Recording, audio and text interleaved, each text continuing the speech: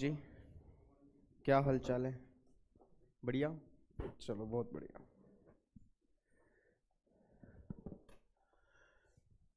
चलो जी।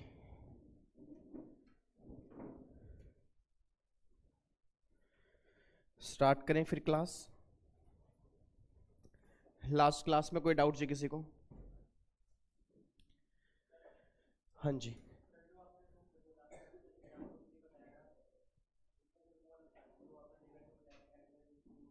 अच्छा example three में।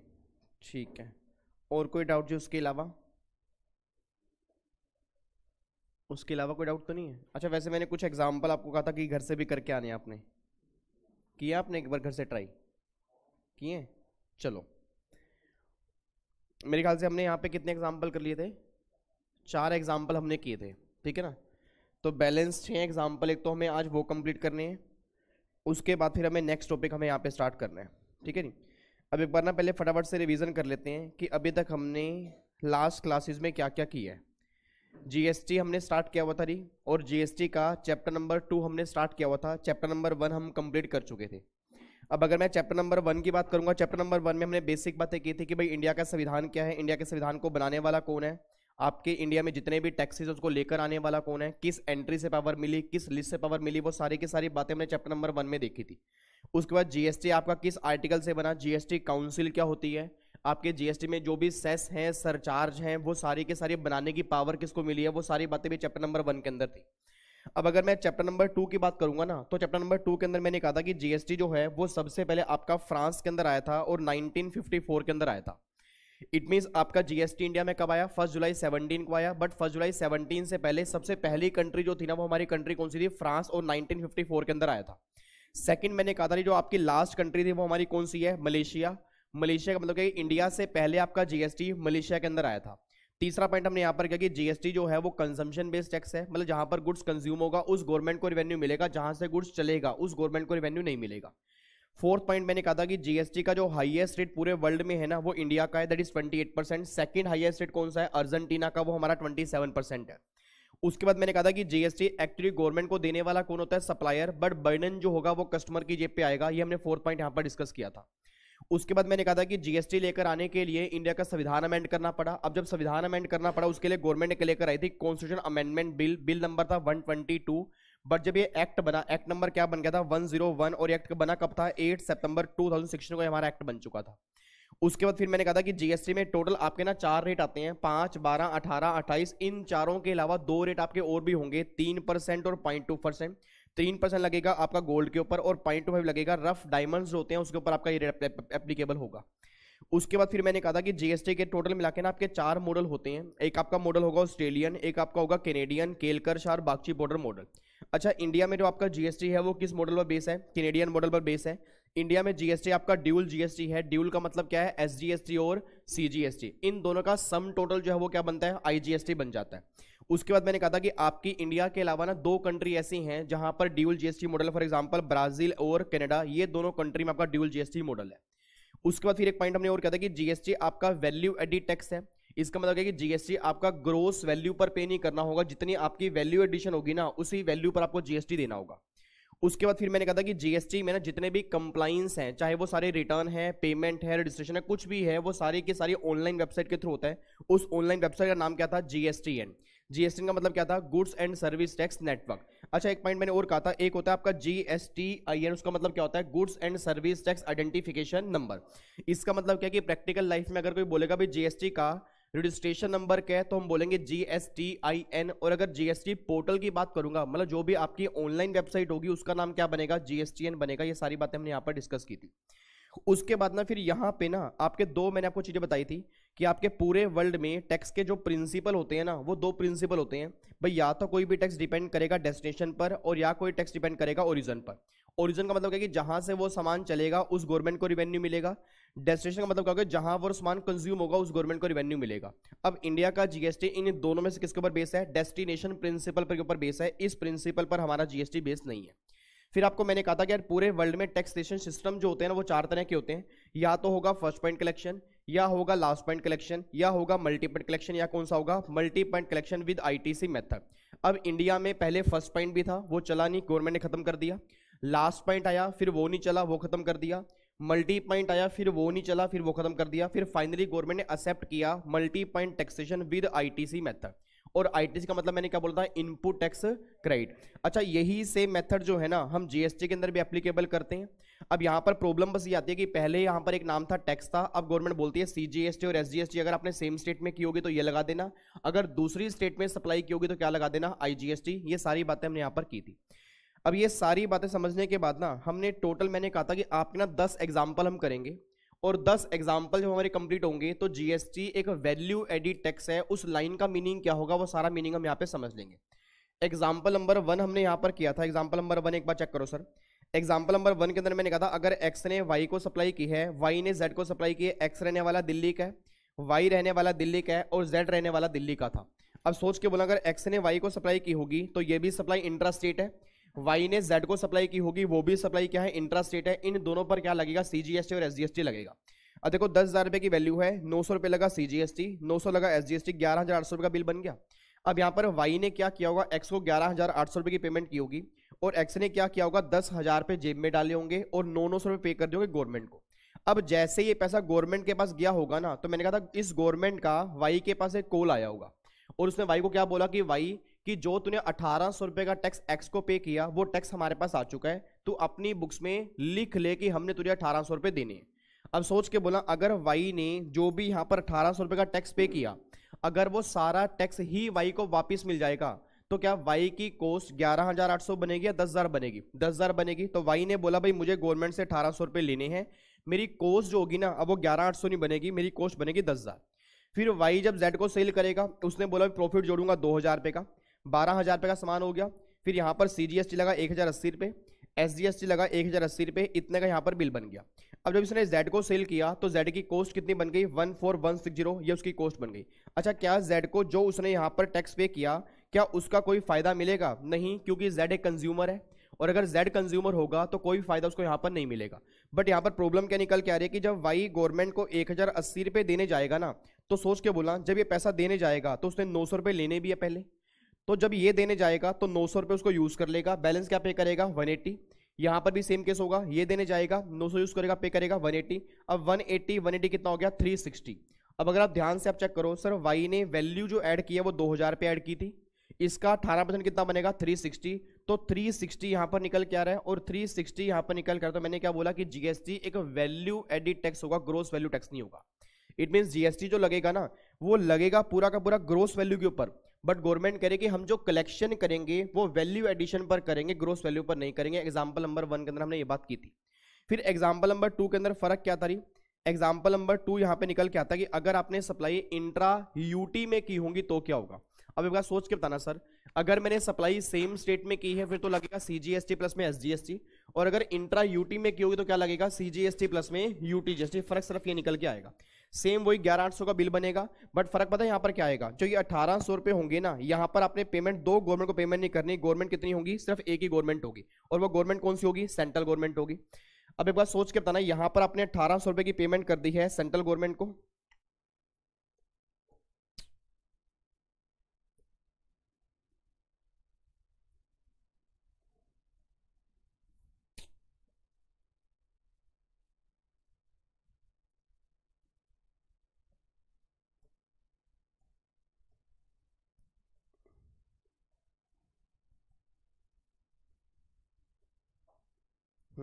लो जी। अब यहाँ पर जो आपके अठारह सौ रुपये निकल के आ रहे हैं, वो आपने पे कर दिए सेंट्रल गवर्नमेंट को और फिर उसका यहाँ पर मिल जाएगा उसको आईटीसी इसकी कॉस्ट बनेगी यहाँ पर दस हज़ार रुपये, फिर दो हज़ार रुपये वैल्यू एडिशन बारह हज़ार रुपये, फिर वही one zero eight zero one zero eight zero अब सोच के बोला जब ये पैसा गवर्नमेंट को देने जाएगा और दो हज़ार रुपये इसने गवर्नमेंट से लेने हैं सॉरी दो हज़ार रुपये लेने, अठारह सौ रुपये लेने हैं तो कितने रुपये निकल के आएँगे? तीन सौ साठ रुपये निकल के आएँगे। अब चेक करना, यहाँ पर वैल्यू एडिशन दो हज़ार है, इसका अठारह परसेंट कितना आ गया? तीन सौ साठ रुपये। यहाँ पे कितना बनेगा? तीन सौ साठ रुपये। आंसर मैच हो गया। बस फ़र्क सिर्फ़ ये निकल के आ रहा है कि पहले केस में वहाँ था सीजीएसटी और एसजीएसटी यहाँ पर क्या लग गया? सीजीएसटी और यूटीजीएसटी बाकी सारी बातें यहाँ पर सेम आ रही है। अब अगर मैं एग्ज़ाम्पल नंबर थ्री की बात करूँगा ना तो एग्ज़ाम्पल नंबर थ्री के अंदर ध्यान देना सर पहली सप्लाई एक्स है वाई है जेड है। एक्स रहने वाला है दिल्ली का वाई रहने वाला है दिल्ली का, और जेड क्या रहने वाला है? हरियाणा का। इट मीन पहली सप्लाई मेरी इंट्रा है, दूसरी सप्लाई मेरी इंट्रा इसके अंदर फ़र्क बस ही आ रहा है। अब मेरा पूरी क्लास से बस एक क्वेश्चन है जब पहली सप्लाई मेरी इंट्रा स्टेट होगी तो यहाँ पर जीएसटी कौन सा लगेगा? सीजीएसटी और एसजीएसटी और यहाँ पर जीएसटी कौन सा लगेगा? आईजीएसटी ये फ़र्क निकल के आ गया। अब जब यहाँ पर मैं सीजीएसटी एसजीएसटी पे करूँगा ना तो नौ सौ रुपए मैंने पे कर दिया सेंट्रल गवर्नमेंट को। 900 पे के स्टेट गवर्नमेंट को। इस गवर्नमेंट का वाई के पास एक कॉल आया होगा, और उसने वाई को बोला होगा कि वाई अपनी बुक्स में लिख ले कि तुझे नौ नौ सौ रुपए लेने हैं। वाई ने उसका आईटी से बुक कर लिया अठारह सौ रुपए का। अब वाई की यहाँ पर कॉस्ट बन गई है दस हज़ार रुपए। इसने गवर्नमेंट से अठारह सौ रुपए लेने हैं। अब कॉस्ट बन गई दस हज़ार पे वैल्यू एडिशन दो हज़ार पे, बारह हज़ार पे, अब फिर यहाँ पर लगेगा आईजीएसटी अब जब ये आईजीएसटी लगेगा टू वन सिक्स ज़ीरो अब सोच समझ के बोलना सर मैंने गवर्नमेंट को पहले पे किया है सीजीएसटी और पहले पे किया एसजीएसटी और मुझे आगे देना आईजीएसटी है, बस मेरा पूरी क्लास से क्वेश्चन आ रहा है, क्या आईजीएसटी की पेमेंट करते हुए, क्या मैं सीजीएसटी और एसजीएसटी इन दोनों को यूज़ कर पाऊँगा, नहीं कर पाऊँगा? यस कर पाऊँगा।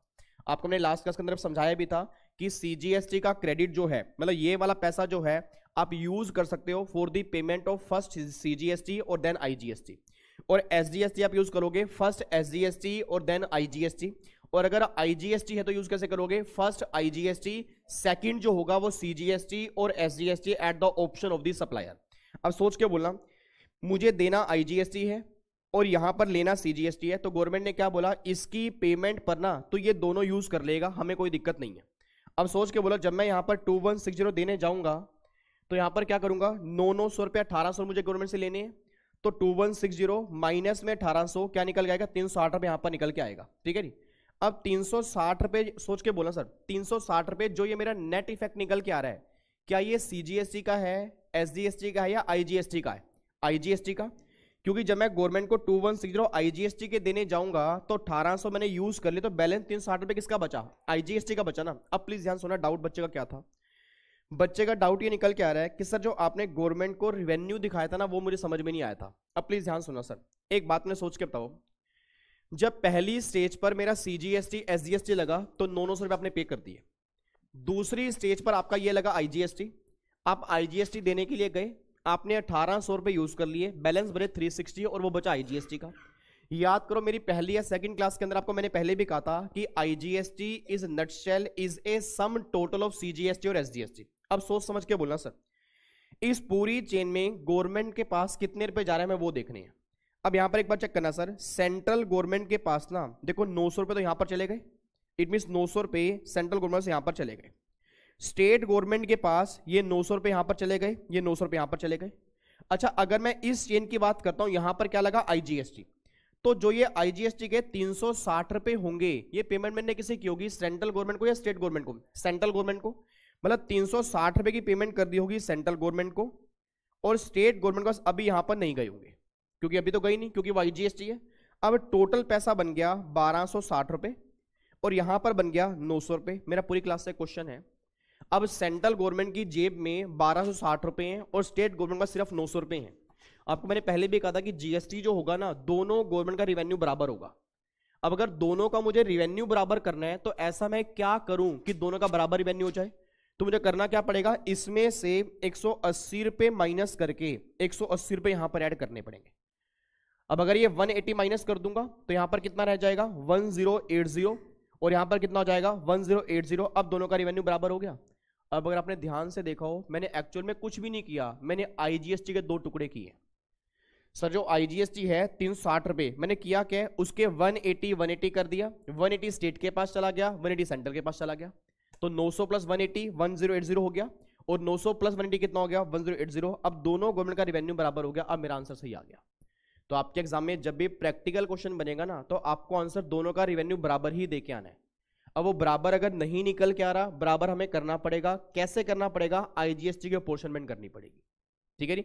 तो पहले नॉर्मल क्या करो? पहले टोटल रिवेन्यू निकाल लो। टोटल कितना निकल के आ गया? बारह, साठ और नौ सौ। अब फिर अपने माइंड में कैलकुलेशन करो कि ऐसा मैं क्या करूँ कि दोनों का बराबर आ जाए। तो फिर क्या करोगे? इसमें से कुछ पैसा हटाकर यहाँ पर ऐड कर दोगे और दोनों का रिवेन्यू जब तक बराबर नहीं आएगा ना, तब तक आपका आंसर सही नहीं होगा। ठीक है नहीं क्योंकि आपको मैंने उस दिन भी कहा था कि GST is one nation one tax दोनों गवर्नमेंट को रिवेन्यू बराबर मिलेगा, बात बात खत्म। ठीक है नहीं इट मीन दोनों को रिवेन्यू अगर बराबर नहीं मिल रहा, हमें बराबर करना है और अगर पहले ही बराबर आ रहा है, फिर तो हमें कोई दिक्कत नहीं। ठीक है नहीं that is example number three उसके बाद फिर एग्ज़ाम्पल नंबर फोर भी हमने किया था एग्ज़ाम्पल नंबर फोर के अंदर फ़र्क क्या आ रहा था? कि पहली सप्लाई मेरी क्या थी? इंटर थी और दूसरी सप्लाई मेरी क्या थी? इंट्रा। अब आपने सोच समझ के बोलना। अगर पहली सप्लाई मेरी इंटर थी तो यहाँ पर क्या लगेगा? आईजीएसटी और दूसरी सप्लाई मेरी इंट्रा है तो क्या लगेगा? सीजीएसटी और एसजीएसटी अब पूरी क्लास से बस मेरा क्वेश्चन है कि मुझे गवर्नमेंट से, ध्यान सुना, मैंने गवर्नमेंट को ना फॉर एग्ज़ाम्पल मान लो मैं यहाँ पर बीच में खड़ा हूँ। मैंने यहाँ से परचेज किया होगा और मैंने यहाँ पर सेल किया होगा। अब जब मैंने यहाँ पर परचेज किया होगा ना तो मैंने गवर्नमेंट को पे किया होगा आईजीएसटी और जब मैंने यहाँ पर सप्लाई किया होगा तो मुझे देना क्या होगा? सीजीएसटी और एसजीएसटी मेरा पूरी क्लास से क्वेश्चन है कि जब मैं गवर्नमेंट को, जब मैं गवर्नमेंट को सीजीएसटी और एसजीएसटी देने जाऊँगा, सोच समझ के बोलना। जब मैं गवर्नमेंट को सीजीएसटी और एसजीएसटी देने जाऊँगा, मुझे गवर्नमेंट से लेना आईजीएसटी है।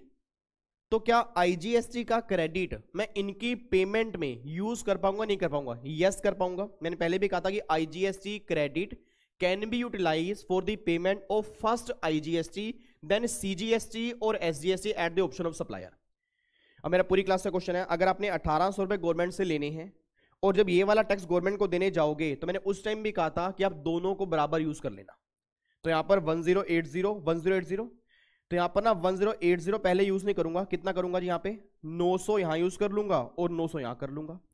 अब अगर मैं नौ सौ यूज़ करूँगा तो कितना कितना बच गया? वन एटी बच गया यहाँ पर और वन एटी बच गया। अब अपने बोल देना सर, ये वन एटी और वन एटी किसका बचा? सीजीएसटी और एसजीएसटी और यहाँ पर अठारह सौ किसके हैं? आईजीएसटी अब अपने बोल देना, इस अठारह सौ के ना, अब दो टुकड़े करूँगा नौ नौ सौ रुपए। अपोर्शनमेंट हो गई आईजीएसटी की।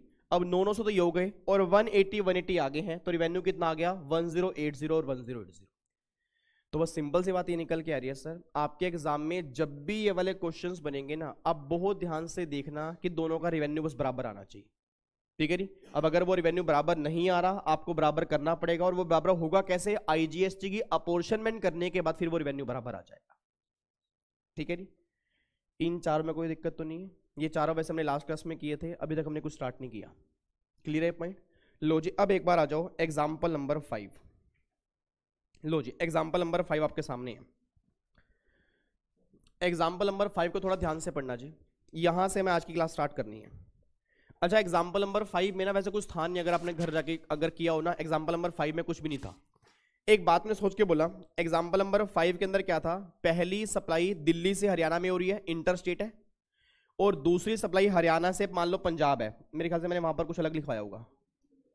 यूपी से गुजरात, चलो कोई बात नहीं। मतलब यहाँ पर दिल्ली से हरियाणा इंटर स्टेट है और यहाँ पर हरियाणा से पंजाब इंटर स्टेट है, दोनों इंटर स्टेट है। अब सोच समझ के बोलना, अगर पहली सप्लाई मेरी इंटर स्टेट होगा तो क्या लगेगा? आईजीएसटी आईजीएसटी लग गया अठारह सौ रुपए का, कोई दिक्कत तो नहीं है। अच्छा फिर यहाँ पर आईजीएसटी लगा अठारह सौ रुपए का तो मैंने सेंट्रल गवर्नमेंट को पेमेंट कर दी होगी अठारह सौ रुपए। और जब मैंने पेमेंट की होगी ना अठारह सौ रुपए तो इस गवर्नमेंट का मेरे पास कॉल आ गया होगा। क्या कॉल आया होगा? कि विवेक, जो तूने अठारह सौ रुपए की पेमेंट की थी ना एक्स को, वो अठारह सौ मेरे पास आ चुके हैं। और तू अपनी बुक्स में लिख ले कि तूने हमसे अठारह सौ रुपए लेने हैं। तो मैंने अपनी बुक्स में आईटीसी बुक कर लिया अठारह सौ इट मीन मुझे गवर्नमेंट से अठारह सौ रुपए लेने हैं, क्योंकि पहले मैं टैक्स देकर आया हूँ। अच्छा सोच के बोला अब मैंने पेमेंट की ग्यारह आठ सौ की बट अठारह सौ गवर्नमेंट ने मुझे वादा कर दिया कि गवर्नमेंट मुझे अठारह सौ वापिस करेगी। तो अब मेरी कोस्ट ग्यारह सौ बनेगी दस हज़ार बनेगी? दस हज़ार बनेगी, मेरी कोस्ट बन गई यहाँ पर दस हज़ार रुपए की। फिर मैंने प्रॉफिट जोड़ा दो हज़ार रुपए का, बारह हज़ार रुपए का सामान हो गया। अब अगर मैं यहाँ से पंजाब में सेल करूँगा इंटर स्टेट सप्लाई फिर आईजीएसटी लगेगा। मैंने आईजीएसटी लगा दिया two one six zero total value बन गई one four one six zero ये मेरी टोटल वैल्यू बन गई। अब अपने आप सोच समझ के बोल देना। अब जब मुझे गवर्नमेंट को आईजीएसटी देना है जब मैं टू वन सिक्स ज़ीरो देने जाऊँगा तो क्या मुझे गवर्नमेंट से कुछ लेने भी होंगे? यस या नो यस अठारह सौ रुपए लेने हैं। तो अपने बोल देना, जब मैं टू वन सिक्स ज़ीरो देने गया, अठारह सौ रुपए लेने हैं तो नेट इफ़ेक्ट कितना आ गया? तीन सौ साठ रुपए ये मुझे यहाँ पर नेट देने होंगे। अब अगर कोई बच्चा क्लास में इंटेलिजेंट बैठा हो ना, एक बात समझ गया होगा कि पहले 1800 जो मैं देकर आया था, वो आईजीएसटी के थे। और ये तीन सौ भी किसके बचे? आईजीएसटी के बचे। अब दोनों का रिवेन्यू हमें निकालना है। अपने आप बोल देना, सर, सेंट्रल गवर्नमेंट को पहले मिले होंगे अठारह सौ रुपए और स्टेट गवर्नमेंट को यहाँ पर उस टाइम मिला था ज़ीरो, क्योंकि सिर्फ़ आईजीएसटी था ना वो। सेंट्रल गवर्नमेंट को अगली चेन में यहाँ पर मिले होंगे तीन सौ साठ रुपए, यहाँ पर मिला होगा ज़ीरो। ज़ीरो मैं क्यों कह रहा हूँ? क्योंकि ये भी क्या है? आईजीएसटी है। अब अगर मैं रिवेन्यू कैलकुलेट करूँ तो सेंट्रल गवर्नमेंट ले गई टू वन सिक्स ज़ीरो और स्टेट गवर्नमेंट ले गई ज़ीरो। अपने बोल देना, क्या दोनों का रिवेन्यू ऐसे आएगा या बराबर करना पड़ेगा? तो बराबर कैसे करूँगा? इसमें से एक हज़ार अस्सी रुपए हटाकर इसमें एक हज़ार अस्सी रुपए ऐड कर दूँगा, अब दोनों का बराबर आ जाएगा। तो एक्चुअल में कोई बच्चा अगर समझदार क्लास के अंदर बैठा हो, मैंने कुछ भी नहीं किया, मैंने आईजीएसटी के पोर्शनमेंट किया बस। इट मीन मैंने कुछ नहीं जितना आपका आईजीएसटी है ना, उसके दो टुकड़े कर दिए। आधा हिस्सा सीजी का, आधा हिस्सा एसजी का, दोनों का रिवेन्यू बराबर आ गया। तो देखो, वहाँ पर चेक करो, देखो मैंने वही लिखा है कि अठारह सौ प्लस तीन सौ साठ माइनस एक हज़ार अस्सी और यहाँ पर एक हज़ार अस्सी रुपए। अब दोनों का रिवेन्यू बराबर आ गया। इस तरह से हमारा आंसर निकल गया। कोई दिक्कत, कोई परेशानी हो प्लीज़ पूछ लो जी। कोई दिक्कत तो नहीं है? तो अगर आपने आंसर यही निकाला था, फिर तो ठीक है। अगर आंसर ये नहीं निकाला था तो प्लीज़ एक बार आंसर उतार लेना जी। अच्छा वैसे मैंने कहा था रफ में करके आना आपको। तो कहीं फेयर में तो नहीं कर लिया था? चलो एक बार फिर फेयर में करो फटाफट से। एग्ज़ाम्पल फाइव का आंसर उतारो जी।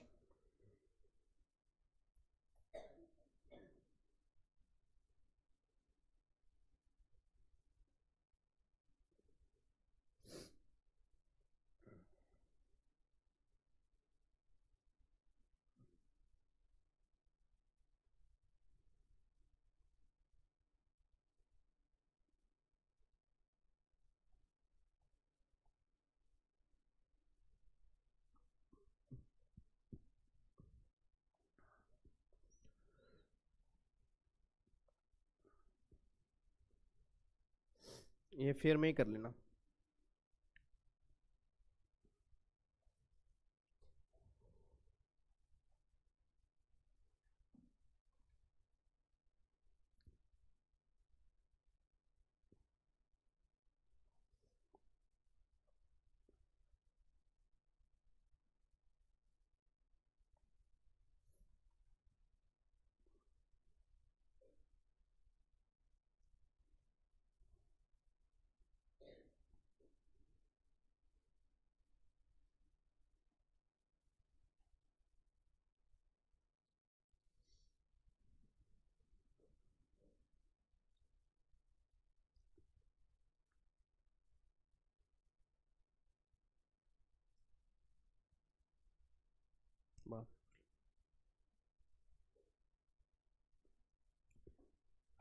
हो गया जी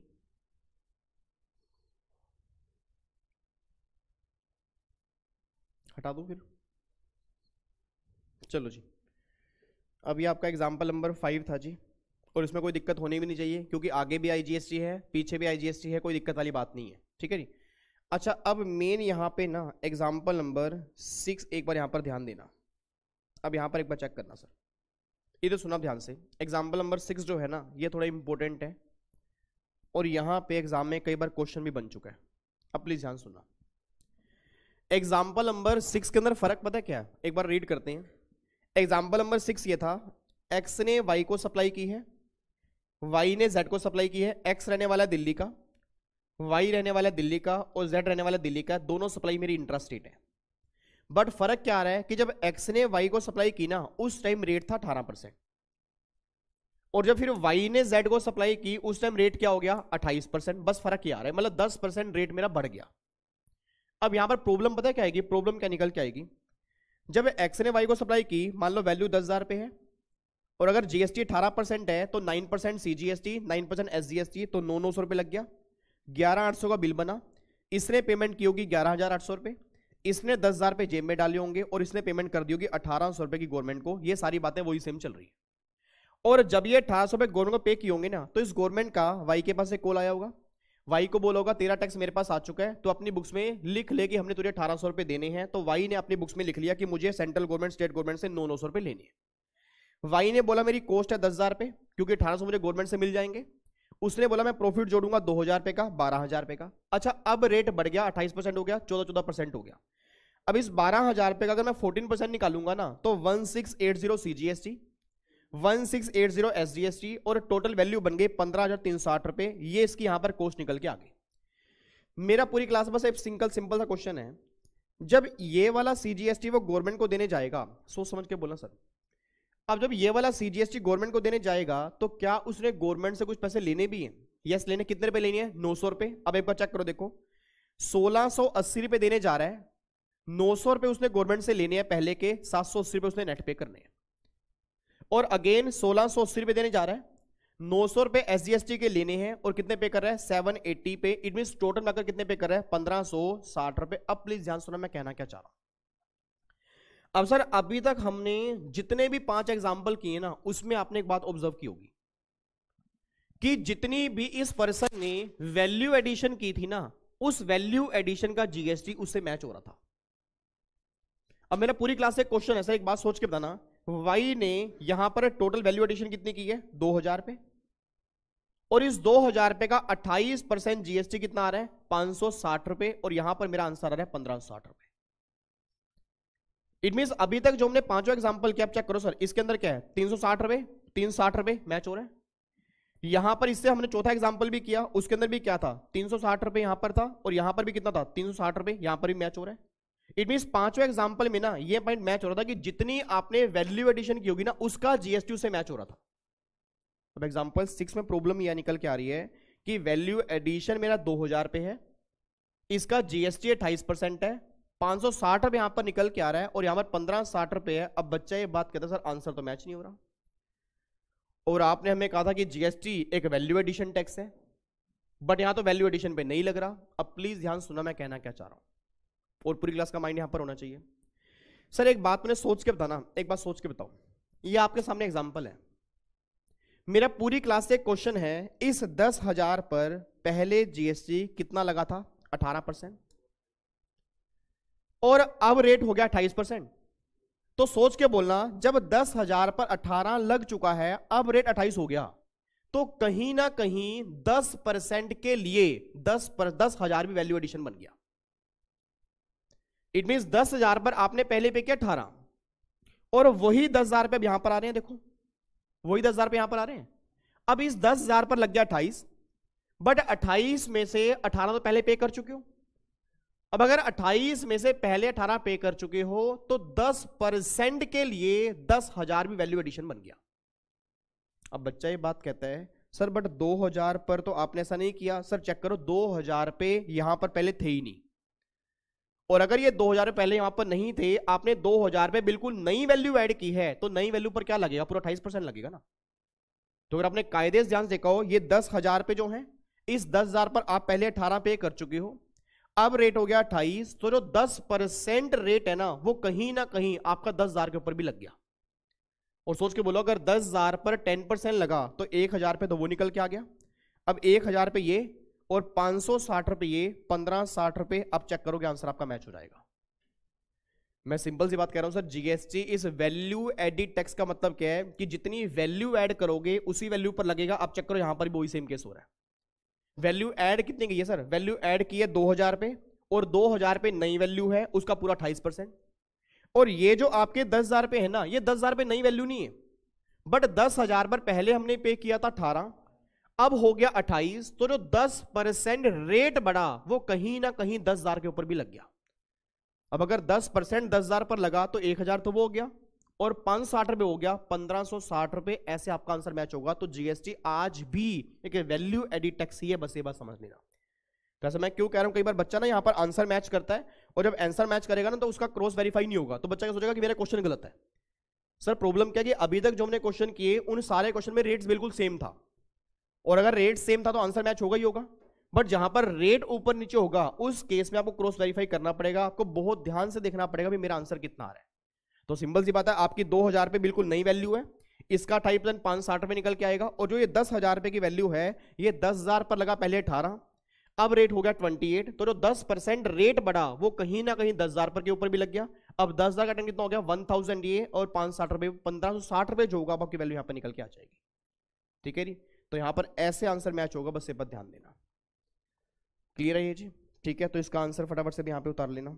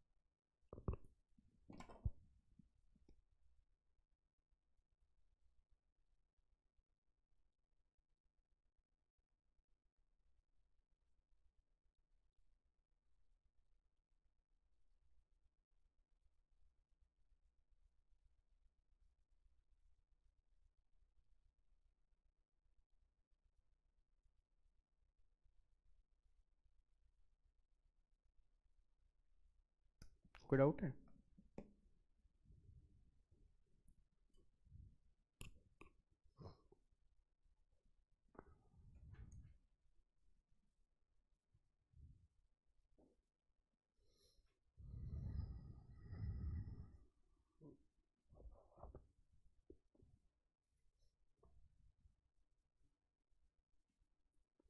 देखो, यहाँ पर मैंने मैचिंग करके दिखाई भी हुई है कि मैचिंग आपकी ऐसी होगी। पाँच साठ रुपये तो वो, और हज़ार रुपये आपके वो, पंद्रह साठ रुपये आपके आंसर ऐसे मैच हो जाएगा।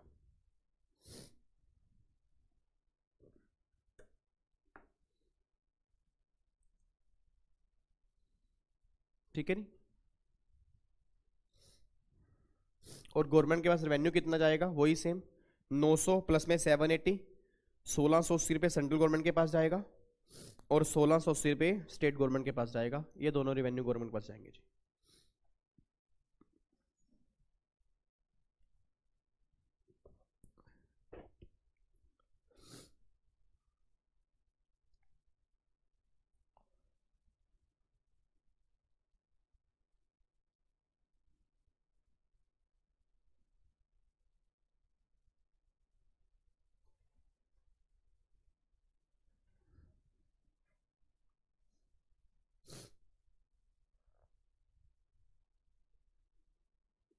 हो गया जी। अब मेरे ख्याल से अगले क्वेश्चन में हमने रेट कम किया था। नहीं, अगले में रेट कम था। अगले में रेट कम था ना? कितना हो गया था? पाँच परसेंट। तो एक बार अगले में चेक करना। यहाँ तक हो गया? अब एक बार अगले में चेक करो सर। अगले में ना, यहाँ पर था अठारह परसेंट, फिर रेट हो गया फाइव परसेंट, फ़र्क ही आ गया था। मतलब अभी तो रेट बढ़ा था, अब रेट कम हो गया। अब एक बार चेक करना। वैल्यू दस हज़ार रुपये आंसर अपना चेक कर लेना जो आपने निकाला घर से। वैल्यू दस हज़ार रुपये सी जी एस टी नौ सौ रुपये एस जी एस टी नौ सौ रुपये ग्यारह आठ सौ का बिल बना। इसने पेमेंट की? होगी ग्यारह हज़ार आठ सौ रुपये फिर दस हज़ार रुपये जेब में डाले होंगे और पेमेंट कर दोगे अठारह सौ रुपये गवर्नमेंट को। अब जब इसने अठारह सौ रुपये गवर्नमेंट को पे कर दिए होंगे, इस गवर्नमेंट का भाई के पास से कॉल आया होगा कि भैया, मुझे मतलब मैंने आपको अठारह सौ रुपये देने हैं, इसने बुक कर लिया होगा आईटी से अठारह सौ रुपये का और कॉस्ट बन गई होगी दस हज़ार रुपये की। वैल्यू एडिशन यहाँ पर दो हज़ार रुपये का बारह हज़ार रुपये सीजीएसटी लगा, अब यहाँ पर कितना हो गया? फाइव परसेंट हो गया ना? तो देखो फाइव का मतलब क्या हो गया? ढाई ढाई परसेंट हो गया। तो सीजीएसटी कितना लगा? तीन सौ रुपए। एसजीएसटी कितना लगा? तीन सौ रुपए। और यहाँ पर कितना हो गया? बारह हज़ार छह सौ रुपए। और यह बारह छह सौ की कॉस्ट बन गई। इसको आईटीसी मिलेगा नहीं। ये बात क्लियर है ना? क्योंकि ये कस्टमर है। अब सोच के बोलना, जब मैं तीन सौ रुपए गवर्नमेंट को देने जाऊँगा तो क्या मुझे कुछ गवर्नमेंट से लेने भी है? हाँ कितने रुपए लेनी है? नौ सौ रुपए लेनी है ना? तो भैया तीन सौ मेरे पूरे खत्म हो गए। यहाँ पर आ जाएगा नील। वही सेम केस तीन सौ रुपए यहाँ पर देने जाऊँगा। यहाँ मुझे नौ सौ रुपए लेनी है, तीन सौ माइनस तीन सौ यह कितना आ गया? नील आ गया। अब प्लीज़ ध्यान सुना कहना क्या चाह रहा हूँ। अब बच्चे को ना फिर यहाँ पर वही डाउट आता है कि, सर आंसर तो मैच नहीं हो रहा। अब बच्चा ये बात कहता है, सर, कि हमें ना एक प्रॉब्लम ही आ रही है कि जो ये वैल्यू एडिशन दो हज़ार रुपए की है, ये वैल्यू एडिशन दो हज़ार रुपए की है, इसका अगर मैं जीएसटी यहाँ पर निकालूं तो फाइव परसेंट जीएसटी मतलब सौ रुपए का जीएसटी आना चाहिए। और यहाँ पर अगर सौ रुपए का जीएसटी आना चाहिए बट यहाँ तो हमारा आंसर नील आ रहा है। अब यहाँ पर फिर आंसर मैच नहीं हो रहा। अब प्लीज़ पूरी क्लास से मेरा क्वेश्चन है। सर एक बात मैंने सोच के बताना, इधर देखो ध्यान से। इधर देखना ध्यान से। पहले तो मुझे इतना बताओ, मुझे गवर्नमेंट से लेने कितने रुपए थे? हाँ नहीं मुझे गवर्नमेंट से लेने कितने रुपए? नौ नौ सौ रुपए लेने थे। मतलब नौ नौ सौ रुपए मुझे गवर्नमेंट से लेने थे सेंट्रल गवर्नमेंट स्टेट गवर्नमेंट से। ठीक है नहीं और इसमें से तीन तीन सौ मैंने यूज़ कर लिए। यूज़ कर लिए।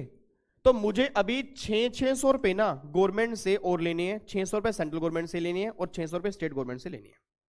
ये बात क्लियर है? अब सर, एक बात मैंने सोच के बताना, यहाँ पर चेक करना। अब यहाँ पर देखो, आपका अठारह परसेंट था। बहुत ध्यान देखना। इस अठारह परसेंट, और यहाँ पर हो गया पाँच। मेरा पूरी क्लास में एक क्वेश्चन है, इस दस हज़ार रुपए के ऊपर पहले कितना लगा होगा? अठारह। तो आपने कितना जीएसटी दिया होगा? अठारह सौ। एक तरह से अठारह सौ। अच्छा अब यहाँ पर रेट हो गया पाँच। तो यहाँ पर अब दस हज़ार पर कितना आ गया? पाँच परसेंट आ गया ना। इट मीन तेरह परसेंट मेरा रेट कम हो गया। सर एक बात मैंने सोच के बताओ, पिछले क्वेश्चन में 18 से 28 हुआ था, मैंने कहा 10 परसेंट बढ़ गया। बट अगर मेरे यहाँ पर 18 से पाँच हो गया तो रेट कितना कम हो गया? 13 परसेंट कम हो गया ना। तो कहीं ना कहीं दस हज़ार रुपए का 13 परसेंट मुझे 1300 वापिस मिलना चाहिए। सर, मैं बस आपसे ये बात समझना चाहता हूँ। आपने इस दस हज़ार पर पे किया होगा अठारह। अब इस दस हज़ार रुपए के ऊपर यहाँ लग रहा है पाँच। तो तेरह परसेंट जो हो गया, वो तो ज़्यादा लग गया था ना। तो तेरह परसेंट वापिस मिलना चाहिए मतलब तेरह सौ वापिस मिलना चाहिए। अब तेरह सौ में से दो हज़ार आपने वैल्यू भी ऐड की है। नहीं है समझ में आ रहा आपको? सर, दो हज़ार पे अपने वैल्यू भी ऐड की है। उस दो हज़ार का फाइव परसेंट वो तो देना पड़ेगा, क्योंकि वो नई वैल्यू ऐड है तो वो सौ रुपए आपको देने पड़ेंगे। अब तेरह सौ लेने हैं और सौ रुपए देने हैं तो रिफंड कितना आ गया? बारह सौ, आप चेक कर लो आंसर मैच हो रहा है मेरा। मैं दोबारा बोलना चाहता हूँ सर आंसर यहाँ पर भी मैच हो रहा है। बिल्कुल परफेक्ट लाइन है जीएसटी वैल्यू एडिट टैक्स और बहुत ध्यान समझना, यहाँ पर मैंने क्या किया देखो, यहाँ पर आपने दस हज़ार पर पे किया अठारह, और यहाँ पर अब रेट हो गया पाँच। मैं बस एक बात जानना चाहता हूँ। यहाँ पर जब दस हज़ार रुपए की आपने नई वैल्यू ऐड की होगी, आपने अठारह परसेंट दिया होगा मतलब अठारह सौ रुपए दिया होगा। अब रेट अगर पाँच हो गया, अब रेट अगर पाँच हो गया तो दस हज़ार पर रेट कितना लगा? पाँच। यहाँ लगा अठारह, यहाँ लगा पाँच तो आपका नेट इफ़ेक्ट तेरह सौ रुपए वापिस आना चाहिए। क्योंकि आपने अठारह सौ रुपए दिया था, आपने अठारह सौ रुपए दिया था, लगा अब जाके पाँच सौ रुपए है, तेरह सौ वापिस बनता है। बट सर दो हज़ार पे आपने नई वैल्यू भी तो ऐड की है। जो आपने प्रॉफिट जोड़ा, उसका फाइव परसेंट तो देना बनता है, क्योंकि पहले उस पर टैक्स लगा ही नहीं था। अब जब मुझे तेरह सौ रुपए लेने हैं और सौ रुपए गवर्नमेंट को देने भी हैं तो नेट इफ़ेक्ट कितना आ गया? बारह सौ रुपए का रिफंड आप चेक करो, आपका रिफंड बारह सौ ही बन रहा है। आप नौ सौ माइनस तीन सौ, ये छह सौ अभी निकाला आपने? और नौ सौ माइनस तीन सौ कितना हो गया? छह सौ छह सौ बारह सौ रुपए। आप चेक करो, देखो मैंने मैचिंग यही की है कि मैचिंग बन कैसे रही है। यहाँ पर तेरह सौ और माइनस में सौ, बारह सौ रुपए का ये रिफंड बन रहा है और यही बारह सौ रुपए का यहाँ पर आ रहा है तो इसका आंसर ऐसे मैच होगा। ठीक है? तो सर आंसर हर क्वेश्चन में मैच होगा। कभी ये मत समझना कि मैच हो नहीं रहा। आंसर हर क्वेश्चन में मैच होगा। बस आपका नज़रिया चेंज होना चाहिए कि आपने उसमें क्वेश्चन में किया क्या है। ठीक है ना? तो यहाँ पे आप लिखो एक बार इसको। आंसर उतार लो इसको।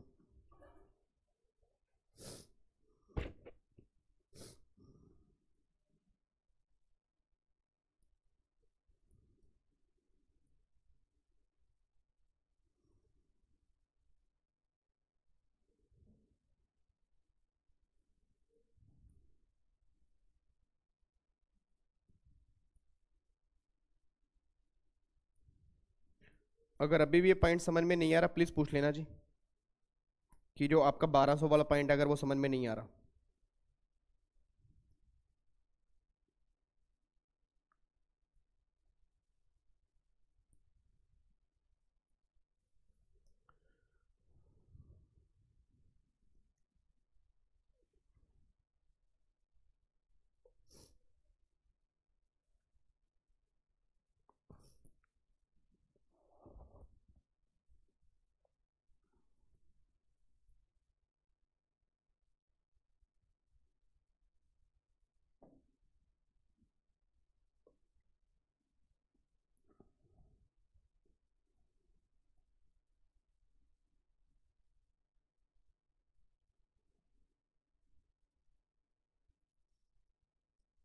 जो बच्चे नए हैं जी, उनको उस समझ में नहीं आएगा ध्यान रखना भी। वो बैठे रहें, समझे कुछ अच्छा ही चल रहा है।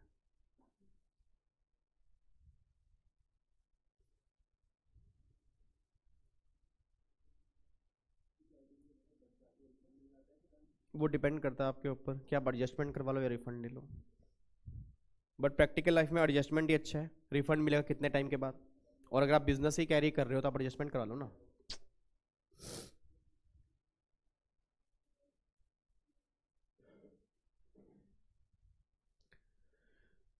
ठीक है जी? तो ये रिफंड की ना मैचिंग कर लेना। ये मैचिंग कैसे हो रही है?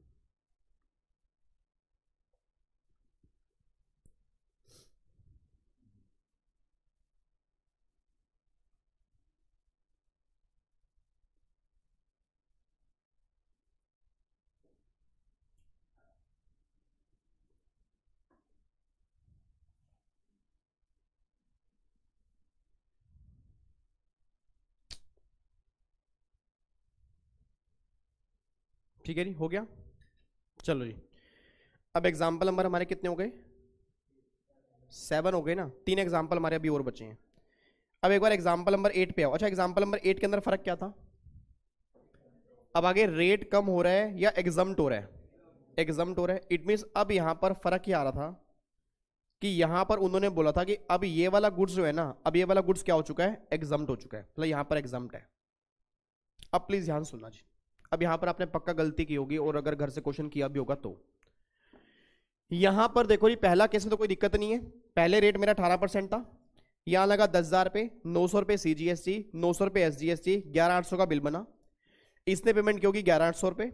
इसने दस हज़ार रुपये जेब में डाले होंगे और इसने यहाँ पर नौ नौ सौ रुपये की पेमेंट कर दी होगी। अब प्लीज़ ध्यान सुना कहना क्या चाह रहा हूँ? अब जब एक्स ने वाई को सामान बेचा, उस टाइम रेट था अठारह परसेंट, और वाई ने जब जेड को बेचा ना गवर्नमेंट ने बोला, ये गुड्स एग्ज़ाम हो गया. अब जब ये एग्ज़ाम हुआ, ये तो कंफर्म है कि आगे जीएसटी नहीं है। भी आगे जीएसटी नहीं लगेगा। बट सबसे बड़ा मुद्दा क्या निकल के आ रहा है? कि इसकी अब कोस्ट कितनी बनेगी? अब सोच समझ के बोला सर। इट मीन अगर आपने ये अठारह सौ रुपए का जो ये जीएसटी पे किया अगर इसका आपको आईटीसी मिल जाएगा, फिर तो कॉस्ट बनेगी दस हज़ार। और अगर आईटीसी नहीं मिलेगा ना, फिर कॉस्ट बनेगी ग्यारह आठ सौ। अब बच्चा ये बात कहता है, सर, आपने बताया तो था कि जो जीएसटी हम पे करके आते उसका हमें आईटीसी मिल जाता है। अब प्लीज़ ध्यान सुनना। आपका ना एक चैप्टर हम करेंगे जीएसटी के अंदर ही। मेरे ख्याल से चैप्टर नंबर 11 है या 12 है, एक चैप्टर हमारा है इनपुट टैक्स क्रेडिट का। और इस चैप्टर में ना एक सेक्शन नंबर 17 हम करेंगे। और इस सेक्शन 17 में लिखा हुआ है that is blockage of ITC it mean in in case में हम आपका आईटीसी ब्लॉक कर देंगे। सर अच्छा मे बी आप में से ना बहुत सारे बच्चों ने नाम सुना होगा। नाम सुना अपने सुभाष चंद्र बोस का? किस किस नाम सुना वैसे? ओ सबने सुना है। अच्छा उनका एक वो था स्लोगन था, एक डायलॉग था। सुभाष चंद्र बोस का एक डायलॉग था, कौन सा था वो? कि तुम मुझे आज़ादी दो, मैं तुम्हें खून दूँगा। क्या था? तुम मुझे खून दो और मैं तुम्हें, अब प्लीज़ ध्यान सुना जब सुभाष चंद्र बोस साहब ने ये डायलॉग बोला ना मतलब जब ये स्लोगन उन्होंने बोला कि तुम मुझे खून दो, मैं तुम्हें आज़ादी दूँगा, यही सेम डायलॉग उस टाइम जीएसटी वालों ने सुन लिया। और पूरा का पूरा जीएसटी का लो भी ये बात कहता है कि तुम मुझे खून दो, तब मैं तुम्हें आज़ादी दूँगा। अब बच्चा ये बात कह रहा है, सर, खून का मतलब? इट मीन अब गवर्नमेंट ये बात कहना चाहती है कि अगर कोई पर्सन मुझे आगे खून देगा, तब तो पीछे की आज़ादी मिलेगी, नहीं तो उसको आज़ादी ही नहीं मिलेगी।